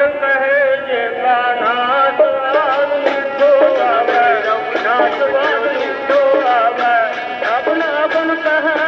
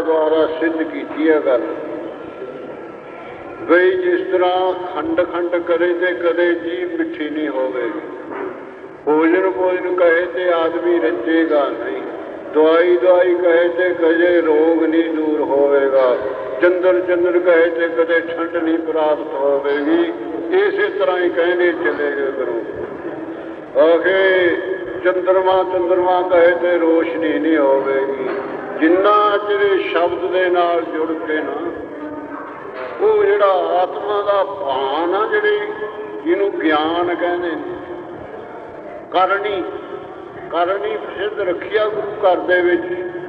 ਕਾਰਣਾ ਦਾ ਫਲ ਵੀ ਮਿਲਣਾ ਗੁਰੂ ਕੋ, ਜਿਹੜਾ ਕਰਨੀ ਕਰਦਾ, ਕੋਈ ਕਰਤੱਵ ਨੂੰ ਕਹਿੰਦੇ ਨੇ ਇਸ ਨੂੰ ਕਰਨੀ ਕਹਿੰਦੇ ਨੇ। ਬਹੁਦਾ ਵਸ ਫਲ ਮਿਲੇਗਾ। ਵਸ, ਜਿਹੜਾ ਸ਼ਰਾਬ ਪੀਂਦਾ, ਵਸ ਨਰਕਾਂ ਨੂੰ ਜਾਵੇਗਾ। ਮਜ਼ੇ ਪਰਮੇਸ਼ਰ ਦਾ ਅਸੂਲ ਹੈ। ਜਿਹੜਾ ਪੁੰਨ ਕਰਦਾ, ਉਹ ਸੁਰਗਾਂ ਨੂੰ ਜਾਵੇਗਾ। ਜਿਹੜਾ ਦਸਵੇਦਾਰ ਪ੍ਰਾਣ ਚੜਾਉਂਦਾ ਉਹ ਬਰਮ ਲੋਕ ਨੂੰ ਜਾਵੇਗਾ। ਜਿਹੜੇ ਪਰਮੇਸ਼ਰ ਦੀ ਭਗਤੀ ਕਰਦੇ ਨੇ, ਭਗਤ ਉਹ ਬੈਕੁੰਠ ਚ ਜਾਣਗੇ। ਜਿਹੜੇ ਬਰਮ ਗਿਆਨੀ ਨੇ, ਉਹ ਕਿਤੇ ਆਉਂਦੇ ਜਾਂਦੇ ਨਹੀਂ ਹੁੰਦੇ। ਜਿਹੜੇ ਕਾਰਕ ਨੇ, ਉਹ ਦੁਨੀਆ ਦੇ ਭਲੇ ਵਾਸਤੇ ਆਉਂਦੇ ਜਾਂਦੇ ਰਹਿੰਦੇ ਨੇ। ਉਹਨਾਂ ਤੇ ਜਿਹੜੇ ਤਿੰਨਾਂ ਗੁਣਾਂ ਦੀ ਸ਼ਰਤ ਉਹ ਆਇਤ ਨਹੀਂ ਹੈ। ਔਰ ਇਹ ਜਿਹੜੀ ਗੱਦੀ ਹੈ ਨਾ, ਜਾਣੀ ਜਿਹੜੀ ਸੰਪਰਦਾ ਹੈ ਆਪਣੀ ਕਾਰਕਾਂ ਦੀ ਹੈ। ਇਹ ਆਪ ਕਰਨ ਕਰਮ ਕਰਨ ਵਾਸਤੇ ਨਹੀਂ ਇੱਥੇ ਆਉਂਦੇ ਤਾਂ ਦੁਨੀਆ ਨੂੰ ਸਿਖਾਲਦੇ ਹੁੰਦੇ ਨੇ ਕਰਮ ਕਰਕੇ। ਆਪਾਂ ਤਾਂ ਕਹਿੰਦੇ ਮਹਾਤਮਾ ਵੀ ਭਜਨ ਕਰਦੇ ਨੇ। ਨਹੀਂ, ਉਹ ਆਪਾਂ ਨੂੰ ਸਿਖਾਲ ਦਿੰਦੇ ਨੇ ਭਜਨ ਕਰਨ। ਜਿਵੇਂ ਗੁਰੂ ਨਾਨਕ ਦੇਵ ਮਹਾਰਾਜ ਜੀ ਦਾ ਅਵਤਾਰ ਹੋਇਆ, ਉਹਨਾਂ ਨੂੰ ਕੀ ਕੀ ਲੋੜ ਸੀ ਬੇਈ ਦੇ ਨਦੀ ਨਦੀ ਦੇ ਕਿਨਾਰੇ ਜਾ ਕੇ 2 ਵਜੇ ਇਸ਼ਨਾਨ ਕਰਕੇ ਸਮਾਧੀ ਲਾਉਣ ਦੀ? ਫਿਰ ਆਪਾਂ ਕਿੱਥੋਂ ਸਿੱਖਦੇ? ਔਰ ਇਸੇ ਤਰ੍ਹਾਂ ਮਹਾਪੁਰਸ਼ਾਂ ਦਾ ਹੁੰਦਾ ਹੈ। ਉਹ ਇਸ ਤਰ੍ਹਾਂ ਸਰਮਤ ਹੈ ਤਾਂ ਉਹਦੀ ਸੁੱਟ ਸਰੀਰ ਦੇ ਵਿੱਚ ਨਹੀਂ ਰਹਿੰਦੀ ਹੈ। ਉਹ ਇਸ ਤਰ੍ਹਾਂ ਦੱਸਿਆ, ਉਹ ਤਾਂ ਗੁਰਬਾਣੀ ਦੇ ਵਿੱਚ ਵੀ ਸਭ ਕੁਝ ਦੱਸਿਆ, ਸਾਰੇ ਧਾਰਮਿਕ ਗ੍ਰੰਥਾਂ ਦੇ ਵਿੱਚ ਜਾਂ ਜਿਹੜੇ ਆਰਖ ਲੋਕ ਨੇ, ਬ੍ਰਹਮ ਗਿਆਨੀ, ਉਹਨਾਂ ਦੀ ਜਵਾਨ ਦੁਆਰਾ ਵੀ ਸੁਣੀਆਂ ਨੇ। ਉਹਨਾਂ ਦੀ ਗੱਲ ਅਨੁਭਵ ਕਰੀ ਹੁੰਦੀ ਤਾਂ ਹੀ ਅੱਗੇ ਕਹਿੰਦੇ ਨੇ। ਗੁਰੂ ਸਾਹਿਬ ਨੇ ਲਿਖਿਆ, ਸੰਤਨ ਕੀ ਸੁਣ ਸਾਚੀ ਸਾਖੀ, ਸੋ ਬੋਲੇ ਜੋ ਵੇਖੇ ਆਖੀ। ਅਸੀਂ ਸੁਣੀਓ ਹੀ ਕਹਿ ਦਿੰਦੇ ਆ ਪੜੀਓ ਹੀ ਕਹਿ ਦਿੰਦੇ। ਕਿੰਨਾ ਕਰਦਾ ਅਸੀਂ ਸੁਣੀਓ ਹੀ ਕਹਿੰਦੇ ਆ ਨਾ ਜਾਂ ਪੜ ਲਈ ਉਹ ਕਹਿ ਦੇਣਾ। ਔਰ ਦੇਖੀ ਤਾਂ ਨਹੀਂ ਹੈ ਜਿਹਨੇ ਦੇਖ ਲਈ ਉਹਦੀ ਕਹੀ ਹੋਈ ਅਸਰ ਕਰੇਗੀ ਗੁਰੂ। ਬਸ ਰਸੂਲ ਆਏ ਜਿਨੇ ਸਾਡੇ ਮਹਾਪੁਰਸ਼ ਗੁਰਸਿੱਖ ਹੋਏ ਨੇ ਇਹ ਸੰਸਥਾ ਦੇ ਵਿੱਚ ਉਹ ਸਾਰੇ ਕਰਨੀ ਵਾਲੇ। ਸਾਰਿਆਂ ਦੀ ਦੇਖੀ ਹੋਈ ਵਸਤੂ ਦੀ ਤਾਂ ਹੀ ਅੱਗੇ ਜਿਗਿਆਸੂ ਨੂੰ ਦਿਖਾਈਏ ਨਾ ਗੁਰੂ। ਕੌਣ ਦਿਖਾ ਦੇਵੇਗਾ? ਜਿਹੜਾ ਆਪ ਹੀ ਨਹੀਂ ਤਾਰੂ, ਦੂਏ ਨੂੰ ਕੀ ਤਾਰ ਦੇਵੇਗਾ ਉਹ? ਉਹਨੂੰ ਤਾਂ ਥੋੜਾ ਜਿਹਾ ਗਾਹਾਂ ਕਰੋ, ਜਦੋਂ ਹੀ ਆਣ ਲੱਗ ਜਾਊਗਾ। ਉਹ ਕੀ ਤਾਰ ਦੂ ਕਿਸੇ ਉਹ ਤਾਰੂ ਹੀ ਤਾਰੇਗਾ, ਜਿਹੜਾ ਪਰਮੇਸ਼ਰ ਨੂੰ ਮਿਲਿਆ ਹੈ ਨਾ, ਜਾਂ ਦੀ ਸੁਰਤ ਆਤਮਾ ਦੇ ਵਿੱਚ ਲਾਇ ਹੁੰਦੀ ਆ, ਉਸੇ ਦੁਆਰਾ ਜਿਗਿਆਸੂ ਦੀ ਵੀ ਸੁਰਤ ਆਤਮਾ 'ਚ ਜਾ ਸਕਦੀ ਹੈ ਅਗਰ ਉਹ ਉਤਮ ਕਰੇ ਤਦ ਜਾਵੇਗੀ, ਨਾ ਗੱਲਾਂ, ਨਾ ਨਾ ਹੋਰ ਕਿਸੇ ਬਾਤ ਬਾਤ ਇਹ ਤਾਂ ਹਕੀਕਤ ਹੈ ਗੁਰਬਾਣੀ ਤਾਂ ਇਹਦੇ ਕੋਈ ਲੁੱਕ ਲਪੇਟ ਨਹੀਂ ਆ ਗੁਰੂ ਕਿਸੇ ਦੀ ਲਿਹਾਜ਼ ਨਹੀਂ ਹੈ ਇੱਥੇ ਬਸ। ਨਾ ਨਾ, ਆਓ ਇਸ ਤਰ੍ਹਾਂ।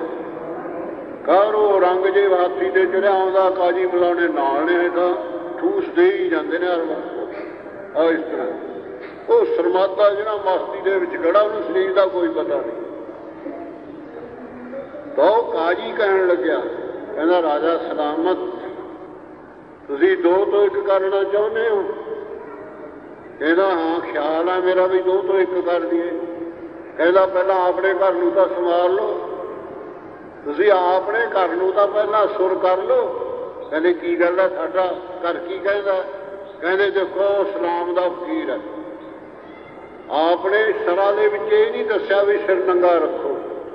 ਜਾਂ ਸਰੀਰ ਤੇ ਕੋਈ ਲੀੜਾ ਨਾ ਪਾਓ, ਇਹ ਅਲਫ ਨੰਗਾ ਨੰਗਾ ਖੜਾ ਇਹਨੂੰ ਕਹੋ ਸਿਰ ਤੇ ਕੁਲਾ ਜਾਂ ਟੋਪੀ ਸਾਫਾ ਬੰਨੇ, ਵਸਤਰ ਪਾਵੇ ਇਸ ਨੂੰ ਇਸ ਤਰ੍ਹਾਂ ਸਮਝਾਉਣਾ ਚਾਹੀਦਾ।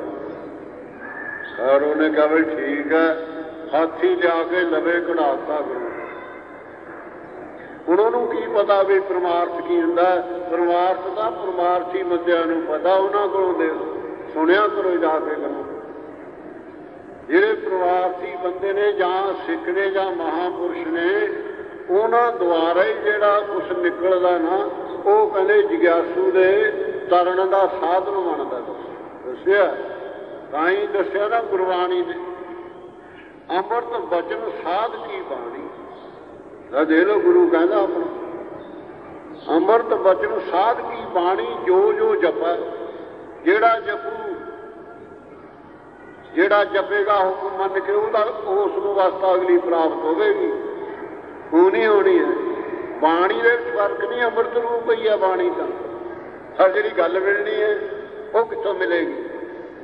ਜੋ ਜੋ ਜਪੈ, ਇਸ ਕੀ ਗਤ ਹੋਵੇ, ਅੰਮ੍ਰਿਤ ਨਾਮ ਨਿਤ ਰਸਨ ਬਖਾਣੀ ਆਓ ਇਸ ਤਰ੍ਹਾਂ ਦੱਸਿਆ ਵੀ ਜਿਹੜਾ ਜਪੇਗਾ ਨੂੰ ਜਿਹਨੇ ਸੁਣ ਲਿਆ, ਕਰਿਆ, ਕੁਛ ਨਹੀਂ ਹੈ।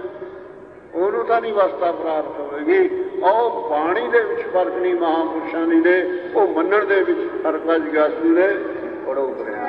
ਜੇ ਮੰਨ ਲੇਗਾ ਉੱਥੇ ਹੀ ਚਲਾ ਜਾਏਗਾ ਅੰਮ੍ਰਿਤ ਬਚਨ ਸਾਧ ਕੀ ਬਾਣੀ। ਅੰਮ੍ਰਿਤ ਬਚਨ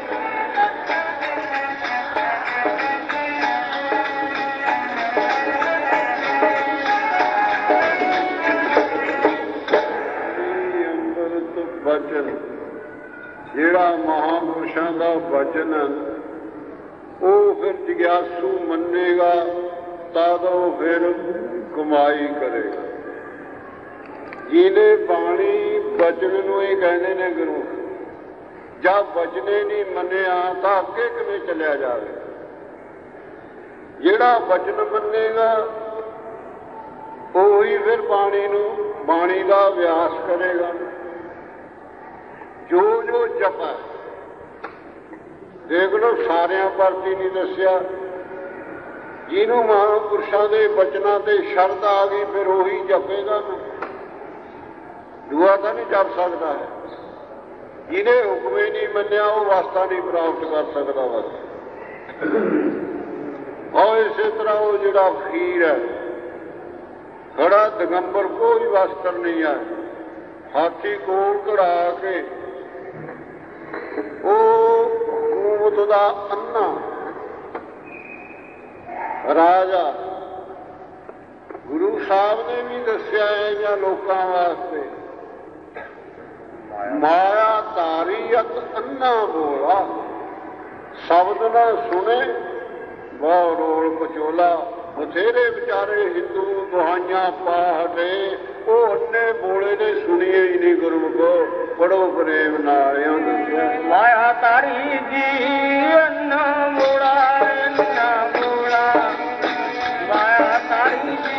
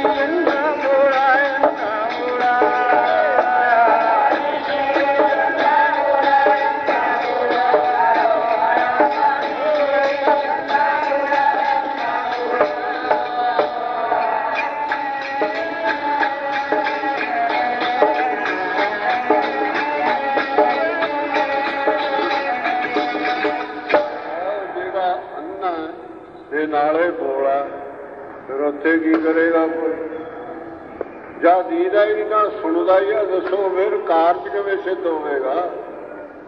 ਕਾਰਜ ਦਾ ਤਾਂ, ਅਰਜ ਤਾਂ ਤਾਂ ਸੁਣੇ ਜੇ ਸੁਣਦਾ ਹੋਵੇ। ਉਹਨਾਂ ਨੂੰ ਦੀਦਾ ਵੀ ਕੋਈ ਨਹੀਂ ਆ, ਦੱਸੋ।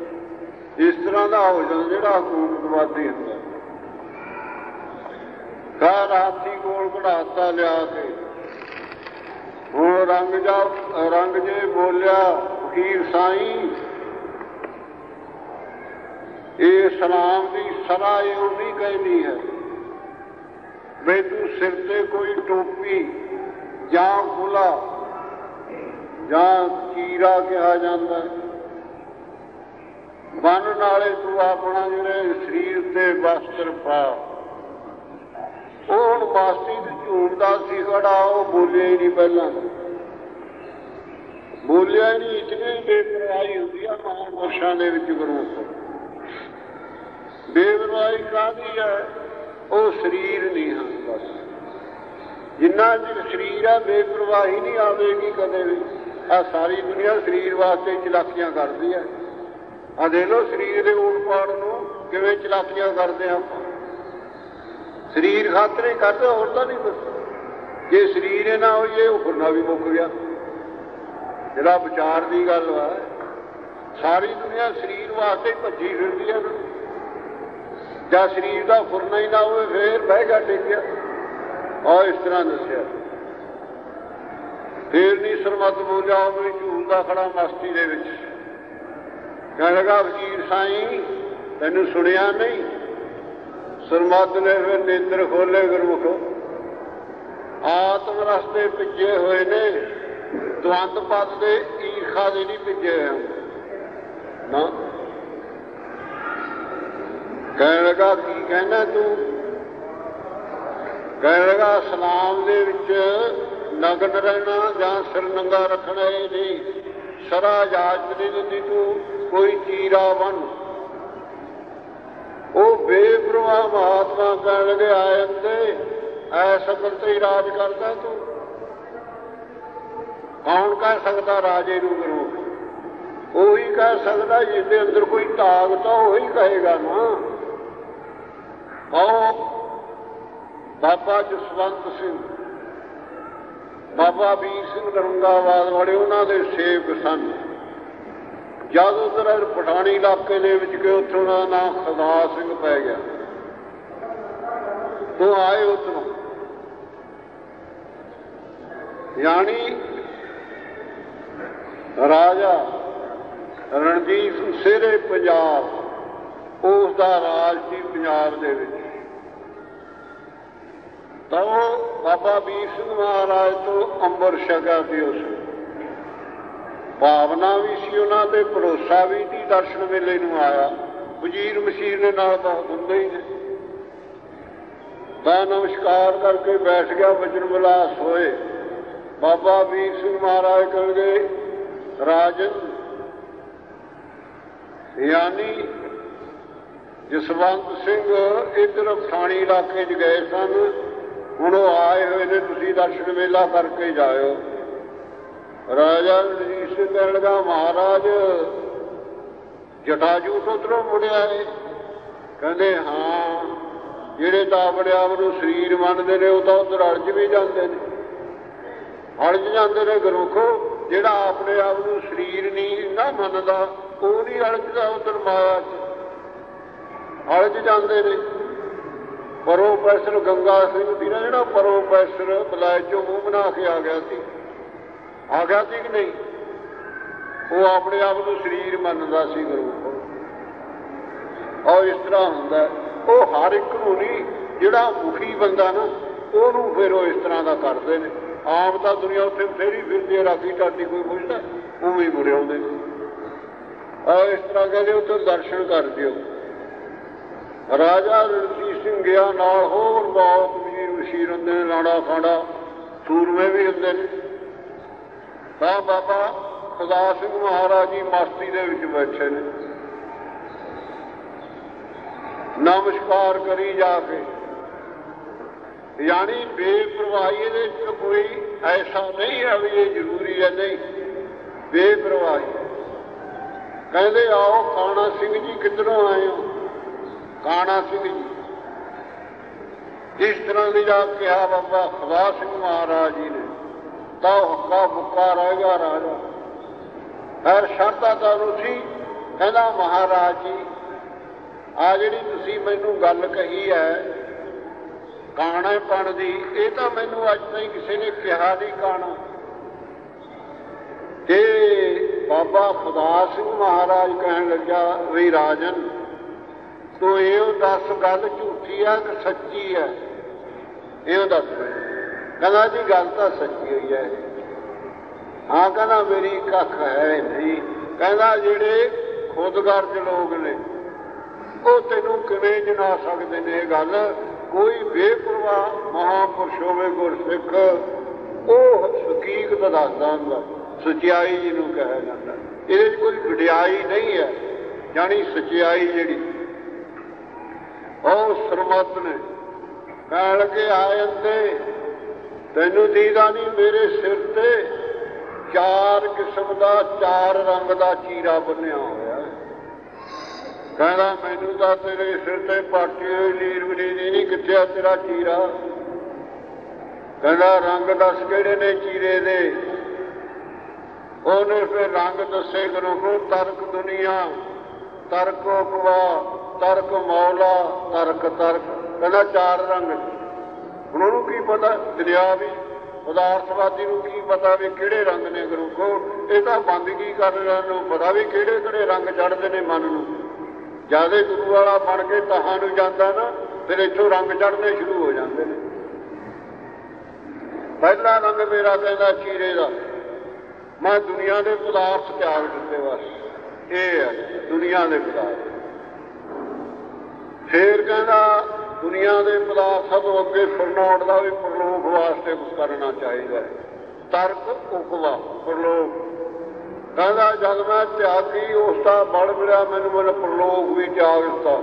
ਮਨ ਮੇਰਾ ਪ੍ਰਲੋਕ ਦਾ ਪਰਨਾ ਵੀ ਛੱਡ ਗਿਆ। ਤਰਕ ਉਕਵਾ, ਉੱਥੋਂ ਅੱਗੇ ਆ ਗਿਆ ਤੇ ਫਿਰ ਮੌਲਾ ਦੇ ਦਰਸ਼ਨਾਂ ਨੂੰ, ਰੱਬ ਦੇ ਦਰਸ਼ਨਾਂ ਨੂੰ ਫਿਰ ਪੁਰਨਾ ਹੁੰਦਾ। ਕਹਿੰਦਾ ਜਦ ਮੈਂ ਸਾਧਨਾ ਕਰਦਿਆ ਕਰਦਿਆ ਰੱਬ ਮੈਨੂੰ ਸਾਖ ਸਾਖਿਆਤ ਹੋ ਗਿਆ ਨਾ, ਜਿਹੜਾ ਆਦਮੀ ਸਾਹਮਣੇ ਖੜਾ, ਉਹਨੂੰ ਵੀ ਕਦੇ ਫਿਰ ਨਾਮ ਲੈ ਕੇ ਬੁਲਾਈ ਨਾ, ਉਹਦਾ ਸਾਹਮਣੇ ਖੜਾ। ਉਹਦਾ ਤਾਂ ਫਿਰ ਆਨੰਦ ਹੁੰਦਾ ਗੁਰੂ ਉਨਾ ਚਿਰੇ ਬੁਲਾਉਣਾ ਜਿੰਨਾ ਚਿਰ ਦੂਰ ਹੈ, ਜਦ ਕੋਲ ਆ ਗਿਆ, ਫਿਰ ਫਿਰ ਤਾਂ ਪਿਆਰ ਹੁੰਦਾ ਉਹਦਾ। ਉਹ ਇਸ ਤਰ੍ਹਾਂ ਦੱਸੇ। ਫਿਰ ਕਹਿੰਦਾ ਤਰਕ ਤਰਕ ਤਿਆਗ ਦਾ ਵੀ ਤਿਆਗ ਕਰ ਦਿੱਤਾ, ਪਰ ਉਹਨੂੰ ਵਿਚਾਰੇ ਨੂੰ ਕੀ ਦਿਸਣਾ ਗੁਰੂ ਕੋ? ਉਹ ਇਸ ਤਰ੍ਹਾਂ, ਉਹ ਵੀ ਫਿਰ ਸਰਮਦ ਨੂੰ ਵੀ ਕਾਇਦ ਕਰਤਾ ਸੀ ਉਸ ਉਹ ਇਸ ਤਰ੍ਹਾਂ ਹਿੰਦੂ ਜਨਤਾ ਦੇ ਜ਼ੁਲਮ ਕਰਨਾ ਸ਼ੁਰੂ ਕਰ ਦਿੱਤਾ। ਬਹੁਤ ਕਹਿੰਦੇ ਮੰਦਰ ਇਹ ਜੇ ਢਾਤੇ ਗੁਰੂ ਕੋ ਜਿਹੜੇ ਹੀਰੇ ਜਵਾਹਰਾਤ ਜੱਟ ਬਣੇ ਹੋਏ ਸਨ।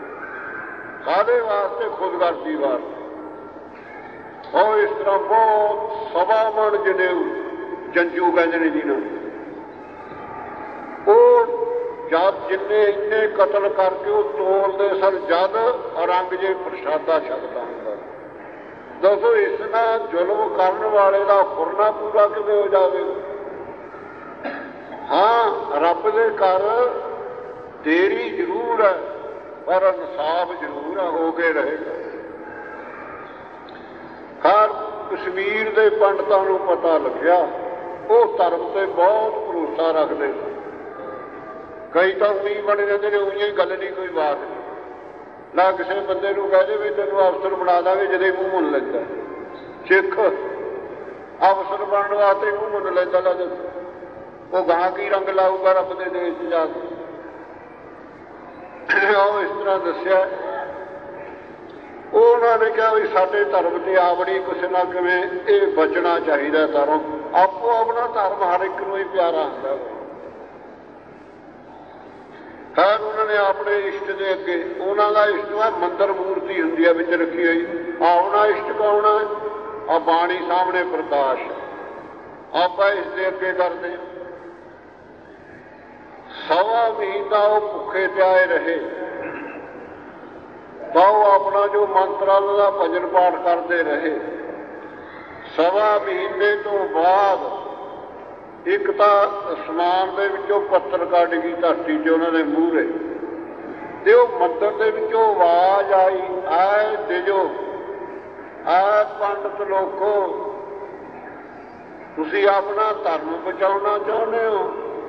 ਕਹਿੰਦੇ, ਹਾਂ ਜੀ, ਆਪੋ ਆਪਣਾ ਸਭ ਨੂੰ ਇਹ ਧਰਮ ਪਿਆਰਾ ਹੁੰਦਾ ਹੈ।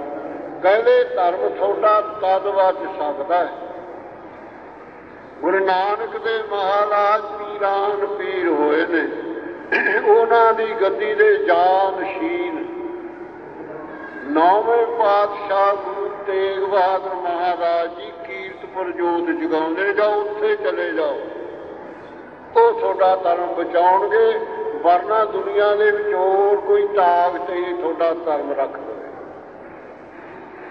ਉਹਨਾਂ ਨੂੰ ਧਾਰ ਹੋਗੀ ਗੁਰੂ ਕੋ ਜਿਸ ਨੂੰ ਕੋਈ ਵਸਤੂ ਦੀ ਲੋੜ ਆ ਜਾਂ ਦੁੱਖ ਆ, ਉਹਨੂੰ ਪਤਾ ਲੱਗ ਵੀ ਫਲਾਨੀ ਜਗ੍ਹਾ ਦੂਰ ਹੋ ਜਾਏਗਾ, ਉਹਨੂੰ ਚਾਹ ਚੜਦਾ ਨਾਲੇ ਉੱਤਰ ਉੱਤਰ ਪੈਂਦਾ। ਉਹ ਭੁੱਖੇ ਖੱਲੜ ਸੁੱਕੇ ਪਏ ਹੱਡ ਨਿਕਲੇ ਉਹਨਾਂ ਦੇ। ਅੱਗੇ ਸਰੀਰ ਵੀ ਬਹੁਤ ਬੜੇ ਬੜੇ ਹੁੰਦੇ ਸੀ ਲੋਕਾਂ ਦੇ। ਤਾਂ ਹੌਲੀ ਹੌਲੀ ਮਜਰਾ ਮਾਰਦੇ ਮਾਰਦੇ ਕੀਰਤਪੁਰ ਸਾਹਿਬ ਆ ਗਏ ਗੁਰੂ। ਨੌਵੇਂ ਪਾਤਸ਼ਾਹ ਮਹਾਰਾਜ ਜੀ ਤਖਤ ਤੇ ਬੈਠ ਕੇ ਸੰਗਤਾਂ ਨੂੰ ਉਪਦੇਸ਼ ਕਰਦੇ ਨੇ, ਬਹੁਤ ਪ੍ਰਾਗਮਈ ਬਾਣੀ ਹੈ ਨੌਵੇਂ ਪਾਤਸ਼ਾਹ ਮਹਾਰਾਜ ਯਾਨੀ ਇਸ ਤੇ ਵਿਸ਼ੇ ਦੀ ਬਾਣੀ ਹੈ ਵੀ ਇਹ ਮਨੁੱਖਾਂ ਦੇ ਮਿਲੀਗਾ ਦੇ ਵਾਸਤੇ ਸਾਰੀ ਬਾਣੀ ਉਹਨਾਂ ਦੀ ਇਸੇ ਤੇ ਹੈ ਦੇਖ ਲਓ ਨੌਵੇਂ ਪਰਲੇ ਦੇ ਸ਼ਲੋਕ ਨੇ ਜਿਹੜੇ। ਸਾਰੇ ਇਨਸਾਨ ਨੂੰ ਕਹਿੰਦੇ ਨੇ, ਗੁਣ ਗੋਬਿੰਦ ਗਾਇਓ ਨਹੀਂ ਜਨਮ ਆਕਾਰ ਸਕੀਨ ਕਹੋ ਨਾਨਕ ਭਜ ਹਰਮਨ। ਮਨ ਕਿਹਾ ਕਿ ਨਹੀਂ ਇਹ ਸਭ ਇਨਸਾਨ ਨੂੰ ਇਹ ਵਿਦੇਸ਼ ਕਰਿਆ, ਇਤਨਾ ਬਰਾਗ ਲਈ ਉਹਨਾਂ ਦਾ ਬਾਣੀ ਹੈ ਗੁਰੂ। ਕਰ ਉਹਨਾਂ ਨੇ ਜਾ ਕੇ ਨਮਸਕਾਰ ਕਰੀ। ਨਮਸਕਾਰ ਕਰਨ ਤੋਂ ਪੱਤਰਕਾ ਵੀ ਅੱਗੇ ਰੱਖ ਦਿੱਤੀ, ਜਦੋਂ ਪੰਡਤ ਦੇਖੇ। ਦਸਵੇਂ ਪਾਤਸ਼ਾਹ ਕਲਗੀਧਰ ਮਹਾਰਾਜ ਜੀ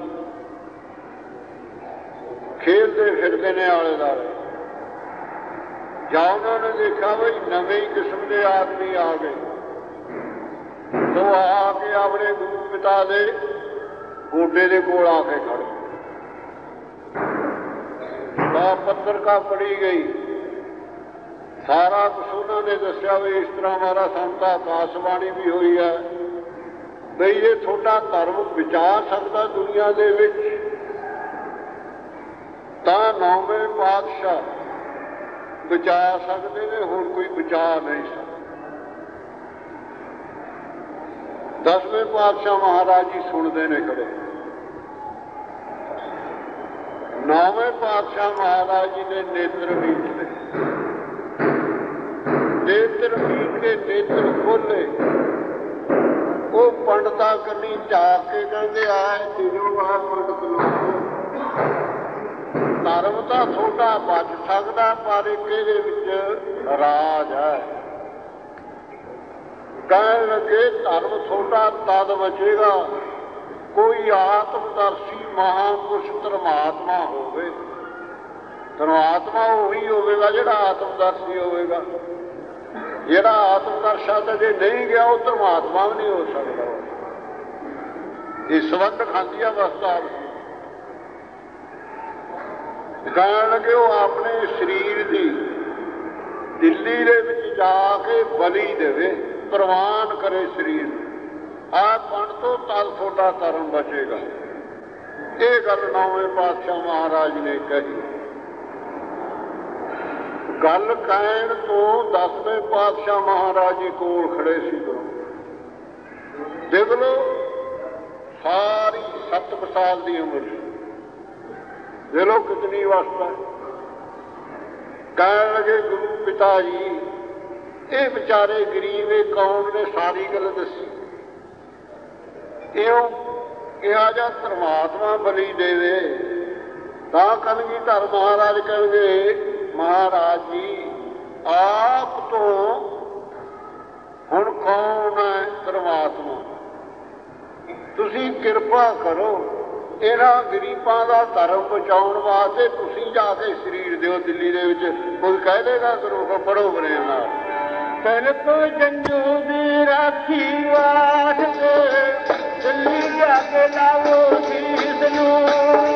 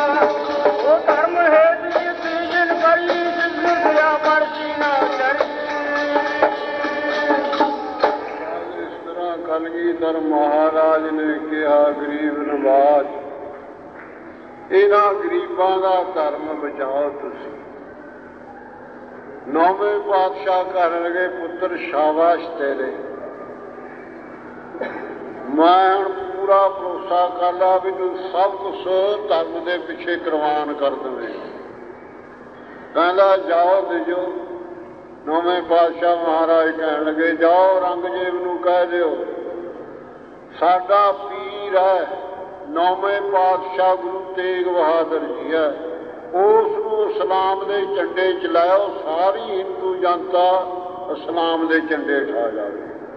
ਜਾਓ, ਕਹਿ ਦਿਓ ਉਹਨਾਂ ਨੂੰ ਜਾਓ ਖਾ ਦਿੱਲੀ ਮਜਲਾ ਮਾਰਦੇ ਗਏ। ਔਰੰਗਜ਼ੇਬ ਨੂੰ ਕਹਿ ਦਿੱਤਾ ਵੀ ਯਾਨੀ ਕੀਰਤਪੁਰ ਸਾਹਿਬ ਸਾਡਾ ਗੁਰੂ ਜਾਂ ਪੀਰ ਕਹਿ ਲੋ ਉਹ ਉੱਥੇ ਜੋਗ ਜਿਉਂਦੇ ਨੇ। ਗੁਰੂ ਤੇਗ ਬਹਾਦਰ ਮਹਾਰਾਜ ਨੇ ਉਹਨਾਂ ਨੂੰ ਇਸਲਾਮ ਦੇ ਵਿੱਚ ਲਾਇਆ, ਸਾਰਾ ਹਿੰਦੂ ਜਨਤਾ ਆਪੇ ਹੀ ਹੋ ਜਾਵੇ। ਕਰ ਇਸ ਤਰ੍ਹਾਂ ਉਹਨੇ ਕਿਹਾ ਵੀ ਇਹ ਤਾਂ ਬਹੁਤ ਸੁਖਾਲਾ ਹੀ ਕੰਮਾਂ ਨੇ ਕਿੰਨਾ ਕਟਾਪਾ ਕਰਦੇ। ਕਰ ਖੈਰ ਉਸਨੇ ਜਿਸ ਤਰ੍ਹਾਂ ਕੋਈ ਜ਼ੁਲਮੀ ਹੁੰਦਾ, ਇਸ ਤਰ੍ਹਾਂ 5000 ਦਾ ਮੋਹਰ ਰੱਖੀ ਇਨਾਮ ਜਿਹੜਾ ਉਹਨਾਂ ਨੂੰ ਫੜਾਵੇ। ਤੇ ਨਾਲੇ ਇਹ ਜੀ ਇਹ ਗੱਲ ਤੇ ਇਹਨਾਂ ਨੂੰ ਸਿਪਾਹੀ ਕਹਿੰਦੇ ਨੇ। ਤੇ ਨੌਵੇਂ ਪਾਤਸ਼ਾਹ ਮਹਾਰਾਜ ਸਰਵਾਗੂ ਗੁਰੂ। ਸਰਵਾਗੂ ਨੂੰ ਕਹਿੰਦੇ ਜਿਹੜਾ ਤਿੰਨਾਂ ਕਾਲਾਂ ਦਾ ਗਿਆਤਾ ਹੋਵੇ। ਸਰਵਾਗੂ। ਤੇ ਸਿੱਖਾਂ ਨੂੰ ਨਾਲ ਲੈ ਕੇ ਪ੍ਰੇਮੀਆਂ ਦੀ ਸ਼ਰਧਾ ਪੂਰੀ ਕਰਨ ਵਾਸਤੇ ਆਪੇ ਹੀ ਹੌਲੀ ਹੌਲੀ ਉਧਰ ਨੂੰ ਚੱਲ ਪਏ। ਕਾਰੋ ਇਹ ਨਹੀਂ ਆ ਗਏ ਉੱਥੇ, ਪਤਾ ਲਿਆ ਕਿ ਇੱਥੋਂ ਤੱਕ ਚਲੇ ਗਏ। ਨਾਲ ਸਿੱਖ ਨੇ ਬਰਮ ਗਿਆ ਦੀ ਹੌਲੀ ਹੌਲੀ ਇਸ ਤਰ੍ਹਾਂ ਹੁੰਦੇ ਹੁੰਦੇ ਹੁਣ ਦਿੱਲੀ ਨੂੰ ਜਾ ਰਹੇ ਨੇ, ਪ੍ਰੇਮੀਆਂ ਦਾ ਪ੍ਰੇਮ ਪੂਰਾ ਕਰਦੇ ਕਰਦੇ ਉਹ ਆਗਰੇ ਘਿਆਲੀ ਸੀਗਾ ਮੁੰਡਾ। ਸਾਰੇ ਖਬਰ ਪਹੁੰਚ ਜਾਂਦੇ ਨਾ, ਹੌਲੀ ਹੌਲੀ। ਤਾਂ ਉਸ ਨੂੰ ਪਤਾ ਲੱਗਿਆ, ਉਹਨੂੰ ਵਿਚਾਰੇ ਨੂੰ ਕੀ ਪਤਾ ਨਹੀਂ, ਅਣਜਾਣ ਨੂੰ। ਉਸ ਨੇ ਸੋਚਿਆ ਵੀ ਜਿਹਦੇ ਅਖਬਾਰ ਜਾਂ ਜੌਂਡੀ ਨਿਕਲੀ ਹੈ, ਜੇ ਮੈਂ ਫੜਾ ਦਿਆਂ, ਮੈਨੂੰ 500 ਮੋਹਰ ਮਿਲ ਜੂ, ਗਰੀਬ ਨੂੰ ਮੈਂ ਬੱਕਰੀਆਂ ਜਾਣ ਤੇ ਬਚਾਂਗਾ ਤੇ ਉਹ ਕਿਹਾ ਜਾ ਫੁਰਨਾ ਕਰ ਲਿਆ। ਉਸ ਕਰ ਅੱਗੇ ਸਰਵਾਗਵਾ ਗੁਰੂ ਹੈ, ਜਿਹੜਾ ਗੁਰਮੁਖੋ ਜਾਣਦਾ ਹੈ। ਕਹਿ ਲਗੇ ਵੀ ਉਸੇ ਆੜੀ ਦਾ ਫੁਰਨਾ ਪੂਰਾ ਕਰਕੇ ਫੇਰ ਦਿੱਲੀ ਨੂੰ ਆਵਾਂਗੇ। ਸਿੰਘਾਂ ਨੂੰ ਦੱਸਿਆ ਨਹੀਂ ਹੈ। ਹਾਂ ਦਿੱਲੀ ਇੱਕ ਪਾਸੇ ਰਹਿ ਗਈ ਤੇ ਆਗਰੇ ਚਲੇ ਗਏ। ਉਹ ਜਿਹੜਾ ਨਿੱਕਾ ਉਹ ਭੇਡਾਂ ਚਾਰਦਾ, ਬੱਕਰੀਆਂ ਹੁੰਦੀਆਂ ਨੇ ਇਕੱਠੇ ਉੱਥੇ ਜਾ ਕੇ ਘੋੜੇ ਕਢਾ ਲਏ ਤੇ ਮਹਾਰਾਜ ਜੀ ਬੈਠ ਕੇ ਦਸਾਲਾ ਵਿਛਾ ਦਿੱਤਾ। ਤਾਂ ਉਹ ਨਿੱਕੇ ਨੂੰ ਸੱਦਿਆ ਵਾਲੇ ਨੇ। ਕਹਿਣ ਲੱਗੇ ਵੀ ਨਿੱਕਿਆ, ਸਾਨੂੰ ਭੁੱਖ ਲੱਗੀ ਹੋਈ ਆ ਜਾਂ ਉੱਥੋਂ ਸ਼ਹਿਰੋਂ ਸਾਨੂੰ ਮਠਿਆਈ ਲਿਆ ਉਹ ਕਹਿੰਦਾ, ਸਰਦਾਰੋ ਵੀ ਮੇਰੀਆਂ ਭੇਡਾਂ ਚਲੀਆਂ ਜਾਣਗੀਆਂ। ਕਹਿਣਗੇ, ਨਹੀਂ, ਭੇਡਾਂ ਅਸੀਂ ਚਾਰਾਂਗੇ ਤੇ। ਫੇਰ ਕਹਿੰਦਾ, ਮੈਂ ਮਠਿਆਈ ਕਾਹਦੀ ਲਿਆਵਾਂਗਾ? ਮਹਾਰਾਜ ਨੇ ਮੁੰਦੀ ਲਾ ਕੇ ਦਿੱਤੀ, ਜਿਹਦੇ ਵਿੱਚ ਹੀਰਾ ਕਰੋੜਾਂ ਰੁਪਈਆ ਦਾ ਹੀਰਾ। ਉਹ ਫੇਰ ਕਹਿਣ ਲੱਗਾ ਮੇਰੇ ਕੋਲ ਤਾਂ ਲੀੜਾ ਨਹੀਂ ਕੋਈ ਗਰੀਬ ਕੋ ਪਵਾਉਂਗਾ ਕਾਦੇ ਦਸਾਲਾ ਦੇ ਤਾਂ ਹਜ਼ਾਰਾਂ ਰੁਪਈਆ ਚਲਿਆ ਗਿਆ ਮੁਸਲਮਾਨਾਂ ਦਾ ਮੁੰਡਾ ਉਹਦਾ ਜਿਹੜਾ ਲਿਬਾਸ ਹੈ ਬਹੁਤ ਗਰੀਬ ਦੱਸਦਾ ਵੀ ਬਹੁਤ ਗਰੀਬ ਹੈ ਹਲਵਾਈ ਦੀ ਦੁਕਾਨ ਅੱਗੇ ਜਾ ਕੇ ਖੜ ਗਿਆ ਕਹਿੰਦਾ ਵੀ ਆਹ ਲੈ ਵਸਤੂ ਮੈਨੂੰ ਮਠਿਆਈ ਦੇ ਦੇ ਉਹ ਕਹਿੰਦਾ ਪਵਾਵੇਂਗਾ ਕਾਦੇ ਚ ਉਹਨੇ ਦਸਾਲਾ ਫਸਾਤਾ ਉਹ ਜਿਹੜਾ ਹਲਵਾਈ ਦੀ ਹੈਰਾਨ ਹੋ ਗਿਆ ਵੀ ਦੇਖੋ ਗੱਲ ਕੀ ਹੈ ਇਹ? ਇਹ ਵਸਤੂ ਕੀ ਹੈ? ਇਹਦਾ ਲਿਬਾਸ ਤਾਂ ਹੈ ਨਹੀਂ ਇਹ ਵਸਤੂ ਵਾਲਾ। ਪੁਲਿਸਮੈਨ ਖੜਾ ਸੀ, ਲਵੇ ਖੜੇ ਹੁੰਦੇ ਨੇ ਸ਼ਹਿਰਾਂ 'ਚ। ਆਵਾਜ਼ ਦਿੱਤੀ। ਆ ਗਿਆ ਪੁਲਿਸਮੈਨ ਕਹਿੰਦਾ, ਦੇਖੋ ਆ ਚੀਜ਼ਾਂ ਇਹਨੇ ਕਿੱਥੋਂ ਲਿਆਂਦੀ ਰਹੀ ਇਹ ਤਾਂ ਰਾਜੇ ਰਾਣਿਆਂ ਕੋ ਹੁੰਦੀਆਂ ਨੇ ਚੀਜ਼ਾਂ। ਉਹ ਪੁਲਿਸ ਵਾਲੇ ਨੇ ਇੱਕ ਮਾਰਾ ਰਖੜਾ ਮੂੰਹ ਤੇ ਵੱਟ ਕੇ। ਉਹ ਕਹਿੰਦਾ ਜੀ ਇਹ ਮੇਰੀ ਆਨੀਆਂ ਨੇ ਸਰਦਾਰ ਨੇ ਬਾਹਰ ਪੰਜ ਬੈਠੇ।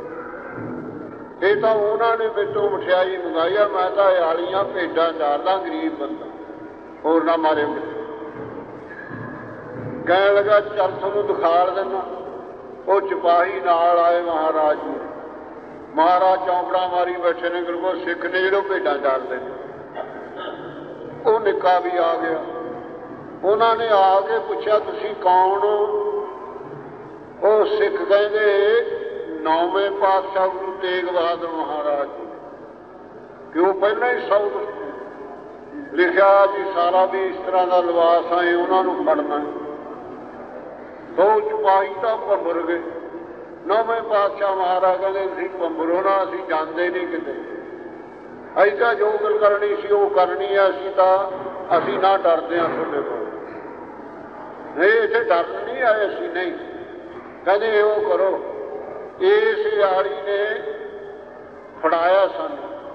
500 ਮੋਹਰੇ ਦੀ ਝੋਲੀ ਚ ਪਾਓ ਪਹਿਲਾਂ ਲਿਆ ਕੇ। ਜਾਂ ਜਵਾਨਾ ਚੰਗਾ ਤੇ ਅੱਜ ਕੱਲ ਤਾਂ ਥਾਣੇਦਾਰੇ ਗਾ ਜਾਣ। ਕਿਹੜਾ ਦਿੰਦਾ ਗਰੀਬ ਨੂੰ? ਆ ਦੇ ਲੋ ਜਾਂ ਗੜੇ ਮਾਰਦੀਆਂ ਨਾ ਕਣਕ। ਖਜ਼ਾਨੇ ਚੋਂ ਕਿਜਨੀ ਮਾਇਆ ਆਉਂਦੀ ਹੁੰਦੀਆਂ ਪਿੰਡ ਵਾਲਿਆਂ ਨੂੰ ਪੰਜ ਪੰਜ ਦੇ ਕੇ ਬਰਾਤ ਦੇ ਆ ਗਰੀਬਾਂ ਨੂੰ ਦਿੰਦੇ ਨੇ ਪੂਰੇ ਦਿੰਦੇ। ਦੱਸੋ ਕਿਸ ਤਰ੍ਹਾਂ ਭਲਾ ਹੋਵੇਗਾ ਇਹਨਾਂ ਦਾ? ਆਓ ਇਸ ਤਰ੍ਹਾਂ ਦੱਸਿਆ। ਕਰ 500 ਮੋਹਰ ਉਸ ਨੂੰ ਦਵਾ ਕੇ ਮਹਾਰਾਜ ਜੀ ਦਿੱਲੀ ਨੂੰ ਰਵਾਨਾ ਹੋ ਗਏ। ਦਿੱਲੀ ਆਉਣ ਤੋਂ ਉੱਤੇ ਇੱਕ ਹਵੇਲੀ ਸੀ, ਉਹਦੇ ਚ ਇੱਕ ਭੂਤ ਰਹਿੰਦਾ ਸੀ, ਪ੍ਰੇਤ ਜਿਹਨੂੰ ਕਹਿੰਦੇ ਕਈ ਜੁਨੇ ਨੇ ਨਾ ਜਿਵੇਂ ਆਪਣੇ ਮੰਗਣੇ। ਤੇ ਉਹ ਸਰੰਗਜੀਤ ਨੂੰ ਪਤਾ ਸੀ, ਉਸ ਹਵੇਲੀ ਦਾ ਵੀ ਉਹਦੇ ਵਿੱਚ ਪ੍ਰੇਤ ਰਹਿੰਦਾ। ਜਿਹੜਾ ਕੋਈ ਜਾਂਦਾ, ਉਹਨੂੰ ਮਾਰ ਦਿੰਦਾ। ਹੋਵੇ ਨਾ ਤਾਂ ਨੌਵੇਂ ਪਾਤਸ਼ਾਹ ਮਹਾਰਾਜ ਨੂੰ ਉਸ ਹਵੇਲੀ ਦੇ ਵਿੱਚ ਤਾਰਾ ਦੇ ਦਿਓ। ਰਾਤ ਨੂੰ ਮਾਰ ਦੇਵੇਗਾ ਚਲ ਆਪਣਾ ਕਾਰਜ ਰਾਸ ਹੋ ਜਾਵੇ। ਪਰ ਕਰਤੇ ਨੂੰ ਕਿਰਤ ਕਿਵੇਂ ਮਾਰ ਦੇਗੀ ਗਨੋਖੋ ਉਹਦਾ ਇੱਕ ਮਾਇਆ ਦਾ ਪਰਦਾ ਪਿਆ, ਜੇ ਕੋਈ ਪਰਦਾ ਚੱਕਿਆ ਜਾਏ ਫਿਰ ਤਾਂ ਕਹਿਣਾ ਹੀ ਕੀ ਹੈ? ਹਰ ਮਹਾਰਾਜ ਜੀ ਰਾਜ ਕਰਕੇ ਉਹ ਆਇਆ ਫਿਰ। ਦਰਵਾਜ਼ਾ ਖੜਕਾਇਆ, ਮਹਾਰਾਜ ਜੀ ਨੇ ਖੋਲਿਆ ਸਾਹਮਣੇ ਖੜਾ ਕਹਿੰਦਾ, ਕੀ ਗੱਲ ਆ ਏ ਕਹਿੰਦਾ, ਮਹਾਰਾਜ ਜੀ, ਬਹੁਤ ਕਿਰਪਾ ਕਰੀ। ਬਹੁਤ ਮਿਹਰ ਕਰੀ, ਮੇਰੇ ਕੋਈ ਪਿਛਲੇ ਜਨਮਾਂ ਦਾ ਚੰਗਾ ਕੋਈ ਦਾਣਾ ਸਿੱਧਿਆਣਾ ਜਾਗ ਪਿਆ, ਆਪਦੇ ਚਰਨ ਪਾਤੇ ਮੇਰਾ ਭਲਾ ਹੋਇਆ ਇਸ ਤਰ੍ਹਾਂ ਮਹਾਤਮਾ ਦਾ ਸੁਭਾ ਹੀ ਭਲਾ ਕਰ ਦਿੰਦੇ ਮੇਰੇ ਗੁਰੂ। ਕਹਿਣ ਲੱਗਾ ਫਿਰ ਮਹਾਰਾਜ ਮੈਂ ਸੇਵਾ, ਉਹ ਗੱਡੇ ਪਟ ਲਾਇਆ ਕੋਨੀ ਮਹਾਰਾਜ ਨੇ ਰਸਨ ਨੂੰ ਲਾ ਕੇ ਸਿਰ ਸਿੱਟਿਆ ਉਹਦੇ ਚੱਬਿਆ ਮੁਕਤ ਹੋ ਗਿਆ ਗੁਰੂ ਰੂਹ ਬਾਹਰ ਨਿਕਲੇ। ਜਦੋਂ ਸਿੰਘ ਕਹਿ ਗਏ ਮਹਾਰਾਜ ਇਹ ਕੌਣ ਹੈ? ਕਹਿੰਦੇ, ਤੁਸੀਂ ਪੁੱਛ ਲਓ ਕੌਣ ਹੈ। ਜਿਹੜੇ ਦੱਸ ਵੀ ਤੂੰ ਕੌਣ ਹੈ? ਕਹਿੰਦਾ, ਮਹਾਰਾਜ, ਤੁਹਾਨੂੰ ਕੀ ਦੱਸਾਂ? ਸੀ ਦੋ ਭਰਾ ਸੀ ਕਹਿੰਦਾ, ਇੱਕ ਦੀ ਚਲਾਕ ਸਰਕਾਰੇ ਉਹਦੀ ਗੱਲਬਾਤ ਸੀ, ਮੈਂ ਸੀਗਾ ਸਿੱਧਾ ਸਾਦਾ ਥੋੜਾ ਜਿਹਾ। ਉਹਨੇ ਜੋ ਪੁਲਿਸ ਦੇ ਵਿੱਚ ਕਰ ਕਰ ਕੇ ਸਾਰਾ ਮੈਨੂੰ ਪੁਲਿਸ ਦੁਆਰਾ ਘਰ ਚੋਂ ਹੀ ਕੱਢ ਦਿੱਤਾ ਹਵੇਲੀ ਜਿੱਥੇ ਪੁਲਿਸ ਦਾ ਜੋਰ ਪੈ ਉੱਥੇ ਮੈਂ ਕੀ ਕਰਾਂ? ਪਰ ਮੇਰਾ ਮੋਹ ਸੀ ਘਰ ਦੇ ਵਿੱਚ ਇੱਟਾਂ ਦੇ। ਉਹ ਮੋਹ ਦਾ ਦੁਆਰਾ ਵੱਡਿਆ ਹੋਇਆ, ਕਹਿੰਦਾ ਮੈਂ ਫਿਰ ਮਰ ਗਿਆ, ਪ੍ਰੇਤ ਬਣ ਗਿਆ। ਪਹਿਲਾਂ ਤਾਂ ਉਹ ਰਹੇ ਜਿੰਨੇ ਸੀਗੇ ਘਰ ਦੇ ਭਾਈ ਸਾਰੇ ਟੱਬਰ ਟੱਬਰ ਜਿਹੜਾ ਆਵੇ ਸਭ ਚੱਕਦੇ। ਕਹਿੰਦਾ ਹੁਣ ਮੈਂ ਇਕੱਲਾ ਹੀ ਬੈਠਾ ਇੱਥੇ। ਗੱਲਾਂ ਹੀ ਆ ਕਹਿੰਦਾ ਕਿਰਪਾ ਕਰਤੀ ਤੁਸੀਂ ਹੁਣ ਮੇਰਾ ਭਲਾ ਹੋ ਜਾਵੇਗਾ। ਸਵੇਰ ਹੋ ਤੇ ਮਹਾਰਾਜ ਨੂੰ ਲਗਾਏ ਕਚਹਿਰੀ ਦੇ ਵਿੱਚ ਗੁਰੂ ਔਰੰਗਜ਼ੇਬ ਬੈਠਾ। ਕਹਿਣ ਲੱਗਿਆ, ਮਹਾਰਾਜ ਜੀ ਦੇ ਉਹ ਕਰੋ ਤੁਸੀਂ। ਹਿੰਦੂ ਤਾਂ ਤੁਹਾਨੂੰ ਗੁਰੂ ਮੰਨਦੇ ਨੇ ਨਾ। ਅਸਲਾਮ ਵੀ ਤੁਹਾਨੂੰ ਪੀਰ ਮੰਨੇਗੀ ਤੁਸੀਂ। ਯਾਨੀ ਇਸਲਾਮ ਦੇ ਝੰਡੇ ਠਾ ਆ ਜਾਓ। ਮੁਸਲਮਾਨ ਬਣ ਜਾਓ। ਨਵੇਂ ਪਾਤਸ਼ਾਹ ਕਹਿੰਦੇ ਮਹਾਰਾਜ ਕਹਿੰਦੇ ਬਾਬੇ ਵਾ ਸਾਵਾ ਤੇਰੀ ਅਕਲ ਦੇ ਐਸਾ ਕਰਤੇ ਤੂੰ ਰਾਜ ਕਰਦਾ ਉਹ ਆਪੋ ਆਪਣਾ ਧਰਮ ਤਾਂ ਹਰ ਇੱਕ ਨੂੰ ਪਿਆਰਾ ਹੁੰਦਾ ਜਿਹੜਾ ਆਦਮੀ ਕਿਸੇ ਲਾਤ ਵਾਸਤੇ ਧਰਮ ਛੱਡਦਾ ਉਹਦੇ ਨਾਲ ਤਾਂ ਗਧਾ ਵੀ ਚੰਗਾ ਉਹਦੇ ਨਾਲ ਤਾਂ ਗਧਾ ਚੰਗਾ ਹੈ, ਜਿਹਨੇ ਆਪਣਾ ਧਰਮ ਨਹੀਂ ਛੱਡਦਾ ਕਹਿਣਗੇ ਨਹੀਂ ਫਿਰ ਕਹਿੰਦੇ ਕੋਈ ਕਰਾਮਾਤ ਦਿਖਾ ਦੇ ਨਾ ਕਰਾਮਾਤ ਨਾ ਤੇਰਾ ਅਸੀਂ ਮੌਜੂਦ ਕਬੂਲ ਕਰ ਲਓ ਜੋ ਮਰਜ਼ੀ ਤੂੰ ਕਰ ਲਾ। ਘਰ ਪਿੰਜਰੇ ਦੇ ਵਿੱਚ ਬੰਦ ਕਰਤਾ ਨੌਵੇਂ ਪਾਤਸ਼ਾਹ ਮਹਾਰਾਜ ਨੂੰ ਬਹੁਤ ਹੁੰਦਾ ਰਿਹਾ। ਉਹ ਕਹਿੰਦਾ, ਤੁਸੀਂ ਦੀਨ ਇਸਲਾਮ ਕਬੂਲ ਕਰ ਲਓ। ਕਹਿੰਦੇ, ਨਹੀਂ ਕਰਨੀ ਆ ਰਾਜਨ। ਜਿਹੜੀ ਤੇਰੀ ਮਨੌਤ ਹੈ ਇਹ ਪੂਰੀ ਨਹੀਂ ਹੋਵੇਗੀ। ਇਹ ਪਰਮੇਸ਼ਰ ਨੂੰ ਨਹੀਂ ਪਾਉਂਦੀ ਹੈ ਤੂੰ ਤਾਂ ਇੱਕ ਦਾ ਦੋ ਕਰਨਾ ਚਾਹੁੰਦਾ ਨਾ। ਪਰਮੇਸ਼ਰ ਨੂੰ ਤਾਂ ਇਹ ਪਾਉਂਦੀ ਆ, ਦੋ ਤੋਂ ਤਿੰਨ ਮੰਨਗੇ। ਆ ਤੀਜਾ ਬੈਠਾ ਹੁਣ ਗਰੋਕ। ਆ ਤੀਜਾ ਬੈਠਾ ਦੇਖ ਲੋ ਕਿਵੇਂ ਰੌਣਕਾਂ ਨੇ। ਉਹ ਇਸ ਤਰ੍ਹਾਂ ਤਿੰਨ ਬਣ ਜਾਣਗੇ। ਕਹਿੰਦਾ ਕਿਸ ਤਰ੍ਹਾਂ ਬਣ ਜਾਣਗੇ। ਕਹਿਣਗੇ, ਲਿਆ ਸਵਾ ਮਣ ਮਿਰਚਾਂ ਪੂਰੀਆਂ। ਤੈਨੂੰ ਜਣਾ ਦਈਏ ਹੁਣੇ। ਪਰ ਉਹਨੇ ਸਮਝਣਾ ਨਹੀਂ ਗੁਰੂ।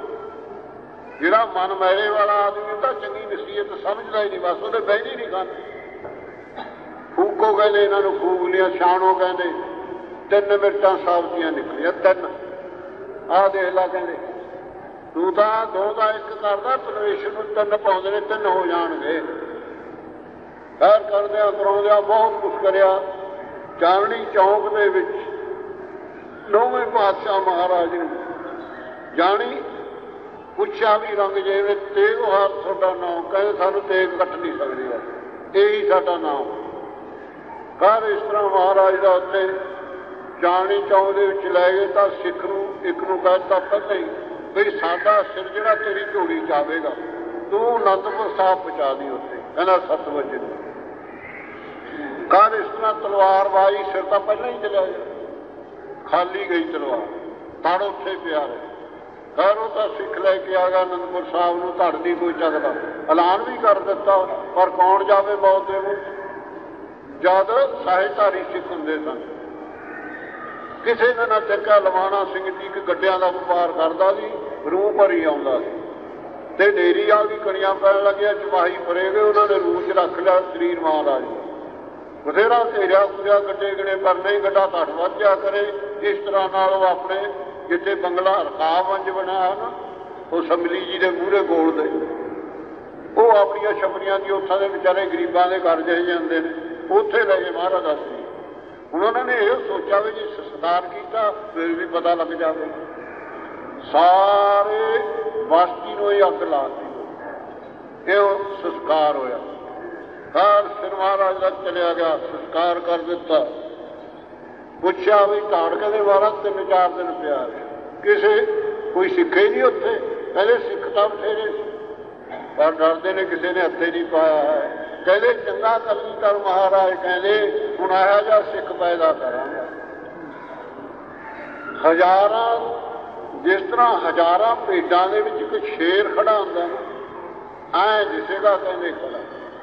ਜਟਾ ਜੂਟ ਕਰਾਂਗਾ, ਕੋਈ ਰਹਿਤ ਬਾਹਿਤ ਦੁਆਰਾ ਕਰਾਂਗਾ, ਉਹ ਫਿਰ ਐ ਖੜਾ ਦਿਸ਼ਾ ਕਰੇ। ਇਸ ਤਰ੍ਹਾਂ ਮਹਾਰਾਜ ਜੀ ਨੇ ਕਿਹਾ ਗੁਰੂ ਉਹ ਇਸ ਤਰ੍ਹਾਂ ਕਲਗੀਧਰ ਮਹਾਰਾਜ ਜੀ ਫਿਰ ਜਾਣੀ, ਉਮਰ ਵਧਣੀ ਸ਼ੁਰੂ ਹੋਈ। ਵਧਦਿਆਂ ਵਧਦਿਆਂ ਉਮਰ ਉਹ ਇੱਕ ਕੋਈ ਜਾਂ ਨੌਵੇਂ ਪਾਤਸ਼ਾਹ ਮਹਾਰਾਜ ਜੀ ਪਟਨੇ ਸਾਹਿਬ ਦੇ ਕਿਸੇ ਰਾਜੇ, ਹਿੰਦੂ ਰਾਜੇ ਦੀ ਮਦਦ ਕਰਨ ਗਏ ਸੀ, ਤਾਂ ਉੱਥੇ ਕੋਈ ਰਾਜਾ ਤੇ ਉਸ ਨੂੰ ਮਹਾਰਾਜ ਨੇ ਉਹਦੇ ਔਲਾਦ ਨਹੀਂ ਸੀ, ਵਰ ਦੇ ਦਿੱਤਾ, ਬਈ ਜਾਂ ਤੇਰੇ ਪੁੱਤਰ ਹੋਵੇਗਾ, ਪਰ ਉਹਦੇ ਨਿਸ਼ਾਨੀ ਹੋਵੇਗੀ, ਸਾਡੀ ਮੋਹਰ ਲੱਗੀ ਹੋਵੇਗੀ ਸਿਰ ਇਸ ਤਰ੍ਹਾਂ ਮਹਾਰਾਜ ਜੀ ਆ ਗਏ। ਇਸ ਤਰ੍ਹਾਂ ਫਿਰ ਉਹ ਦਸਵੇਂ ਪਾਤਸ਼ਾਹ ਮਹਾਰਾਜ ਜੀ ਅਨੰਦਪੁਰ ਸਾਹਿਬ, ਉਹ ਮਹਾਰਾਜ ਜੀ ਜਦ ਖਰੀਦ ਦੀ ਜਗ੍ਹਾ ਖਰੀਦੀ ਹੋਈ, ਨੌਵੇਂ ਪਾਤਸ਼ਾਹ। ਮਹਾਰਾਜ ਨੌਵੇਂ ਪਾਤਸ਼ਾਹ ਨੂੰ ਸਭ ਪਤਾ ਨਹੀਂ ਉਹ ਸੋਨਾ ਘਰ ਉਸ ਦਾ ਲੜਕਾ ਹੋਇਆ ਥੋੜਾ ਜਿਹਾ ਜਵਾਨ। ਉਹ ਕੇਸ ਪਾਉਣ ਲੱਗਾ, ਸ਼ੀਸ਼ੇ ਦੇ ਮੂਹਰੇ ਨੇ ਦੇਖਿਆ। ਕਹਿਣ ਲੱਗਾ, ਮਾਤਾ ਨੂੰ, ਮਾਤਾ, ਮੇਰੇ ਸਿਰ 'ਚ ਦਾਗ ਜ਼ਿਆਦਾ ਉਹਨੇ ਦੱਸਿਆ, ਸਾਰਾ ਵੀ ਇਸ ਤਰ੍ਹਾਂ ਇੱਥੇ ਨੌਵੇਂ ਪਾਤਸ਼ਾਹ ਮਹਾਰਾਜ ਜੀ ਆਏ ਤੇ ਆਪਣੇ ਔਲਾਦ ਨਹੀਂ ਸੀ। ਇਸ ਤਰ੍ਹਾਂ ਉਹਨਾਂ ਦੇ ਵਰ ਨਾਲ ਤੂੰ ਪੈਦਾ ਹੋਇਆ ਉਹਨੇ ਕਿਹਾ, ਹੁਣ ਉਹ ਕਿੱਥੇ ਹੈ ਸ਼ੌਂਕ ਪੈਦਾ ਹੋ ਗਿਆ ਜੀ ਉਹਦਾ ਅਨੰਦਪੁਰ ਸਾਹਿਬ ਹੈ ਗੁਰੂ। ਉਸ ਨੇ ਵੀ ਤੋਹਫੇ ਲੈ ਇੱਕ ਤਾਂ ਪ੍ਰਸਾਦੀ ਹਾਥੀ ਲਿਆ, ਪੰਜ ਕਲਾ ਦਾ ਸ਼ਾਸਤਰ, ਇੱਕ ਚੌਕੀ ਇਹ ਚਾਰ ਪੰਜ ਚੀਜ਼ਾਂ ਤੋਹਫੇ ਲੈ ਫਿਰ ਉਹ ਆ ਗਿਆ ਗੁਰੂ ਕੋ ਹੁਣ ਦਸਵੇਂ ਪਾਤਸ਼ਾਹ ਮਹਾਰਾਜ ਜੀ ਤਖਤ ਲਾਉਣਾ ਸ਼ੁਰੂ ਕਰ ਦਿੱਤਾ। ਸੂਰਮਿਆਂ ਨੂੰ ਸ਼ਸਤਰਬਾਜ਼ੀ ਸਿਖਾਉਣੀ ਸ਼ੁਰੂ ਕਰ ਦਿੱਤੀ। ਨਗਾਰੇ ਬਣ ਗਏ। ਨਗਾਰਿਆਂ ਤੇ ਚੋਟਾਂ ਲੱਗਣੀਆਂ ਸ਼ੁਰੂ ਹੋ ਗਈਆਂ। ਪਹਾੜ ਕੰਬਦੇ ਨੇ। ਇਸ ਤਰ੍ਹਾਂ ਦੇ ਸ਼ਿਕਾਰ ਖੇਡਦੇ ਨੇ। ਆਓ ਇਸ ਤਰ੍ਹਾਂ ਪਹਾੜੀ ਰਾਜੇ 22 ਧਾਰਾਂ ਦੇ ਭੀਮ ਚੰਦ ਸੀ ਬੜਾ ਸਭ ਤੋਂ ਪਹਿਲੂਨ ਦਾ ਰਾਜਾ ਸੀ। ਇਉਂ ਦਰਬਾਰ ਮਹਾਰਾਜ ਦਾ ਸ਼ੁਰੂ ਹੋਇਆ ਗਿਆ ਕਲਗੀਧਰ ਮਹਾਰਾਜ ਜੀ ਨੇ ਉਹ ਨਾ ਰਾਜਾ ਨੂੰ ਸੱਦ ਕੇ ਕਹਾਵੇ ਇਉਂ ਕਰੋ, ਤੁਸੀਂ ਗੁਰੂ ਵਾਲੇ ਬਣ ਜਾਓ, ਅੰਮ੍ਰਿਤ ਛਕ ਲਓ, ਤੁਹਾਨੂੰ ਰਾਜ ਲੈ ਦਿਆਂਗੇ। ਪਰ ਉਹਨਾਂ ਨੂੰ ਸ਼ਰਧਾ ਹੀ ਨਾ ਆਈ, ਗੁਰੂ ਸ਼ਰਧਾ ਕਿਵੇਂ ਆਵੇ? ਸ਼ਰਧਾ ਜੀ ਨੂੰ ਆਈ ਉਹਨਾਂ ਦਾ ਕਾਰਜ ਰਾਜ ਹੋ ਗਿਆ। ਜਿਵੇਂ ਡੱਲੇ ਨੂੰ ਕਲਗੀਧਰ ਮਹਾਰਾਜ ਨੇ ਕਿਹਾ ਸੀ ਡੱਲਿਆ ਦੇਖ ਲੈਣਾ ਬਗਨੀਓ ਇਹ ਕਲਮੀ ਅੰਬ ਲੱਗੇ ਲੱਗੇ ਹੋਏ ਨੇ, ਕਹਿੰਦਾ ਮਹਾਰਾਜ ਕਿੱਥੇ ਦੇ ਰੇਤਾ ਉੱਡਦਾ ਵਜਨ ਨਾ ਮੰਨਿਆ। ਫਿਰ ਵੀ ਰਾਹੇ ਮੁੰਡਾ ਗੁਰੂ ਕਹਿਣ ਦਾ ਚੰਗਾ, ਚੱਲਿਆ, ਚੱਲ ਤਾਂ ਹੁਣੇ ਹੀ ਜਾਣੀਆਂ ਸੀ। ਅੰਬ ਵੀ ਹੁਣੇ ਲੱਗ ਜਾਣ ਸੀ, ਪਰ ਦਿਨ ਪਾ ਕੇ ਹੋ ਜਾ, ਹੁਣ ਅਸੀਂ ਦੇਖ ਕੇ ਆਏ ਹਾਂ। ਐਡੇ ਬਾਗਾਂ ਦੇ ਬਾਗ ਲਗੇ ਪਿਉ ਦੀ ਵੇਰ ਪਹਿਲਾਂ ਸਿਵਾ ਵਰਗੇ ਨੇ ਪਿਉ ਦੀ ਵੇਰ ਲਗੇ। ਇਸ ਤਰ੍ਹਾਂ ਨਾ ਹੁੰਦਾ। ਆਓ ਇਸ ਤਰ੍ਹਾਂ, ਉਹ ਮੰਨੇ ਨਾ ਜੀ, ਕਹਿੰਦੇ ਅਸੀਂ ਤਾਂ ਨਹੀਂ ਆਪਣਾ ਫਰਾਵਾ ਕਹਿੰਦੇ ਚਾਚਾ ਜਾ ਭਾਜੋ ਕਹਿੰਦੇ ਉਹ ਇਸ ਤਰ੍ਹਾਂ ਉਹ ਫਤਿਹ ਚੰਦ ਜੀ ਉਹਦੇ ਲੜਕੇ, ਲੜਕਾ ਵਿਆਹ ਦੀ ਖਾਸੀ ਆਏ ਹੁੰਦਾ ਸਾਖੀਏ। ਆਓ ਇਸ ਤਰ੍ਹਾਂ, ਉਹ ਫਿਰ ਢੀਲ ਮਰਲਾ ਜਿਹੜਾ ਜਦ ਉਸੇ ਮੁੰਡੇ ਦੀ ਸ਼ਾਦੀ ਸੀ ਨਾ। ਹਾਂਜੀ। ਭੀਮ ਚੰਦ ਰਾਜਾ ਸੀ ਫਾੜੀ। ਉਹਨੇ ਦੇਖ ਜਾਓ ਜਦ ਆਏ ਸੀ ਉੱਥੇ ਦਰਸ਼ਨ ਵੇਲੇ ਨੂੰ। ਵੀ ਇਤਨੀਆਂ ਕੀਮਤੀ ਚੀਜ਼ਾਂ ਆਪਾਂ ਇਹ ਬਹਾਨੇ ਨਾਲ ਲੈ ਲਓ ਇਹਨਾਂ ਕੋਲੋਂ, ਫਿਰ ਦਵਾਂਗੇ ਹੀ ਨਹੀਂ ਕਿ ਆਪਣੇ ਚ ਤਾਕਤ ਹੈ ਇਸ ਤਰ੍ਹਾਂ ਦੇਵ ਨਾਲ ਕੱਢਿਆ ਪੰਡਤ ਜੀ ਆ ਕੋਈ। ਹਰ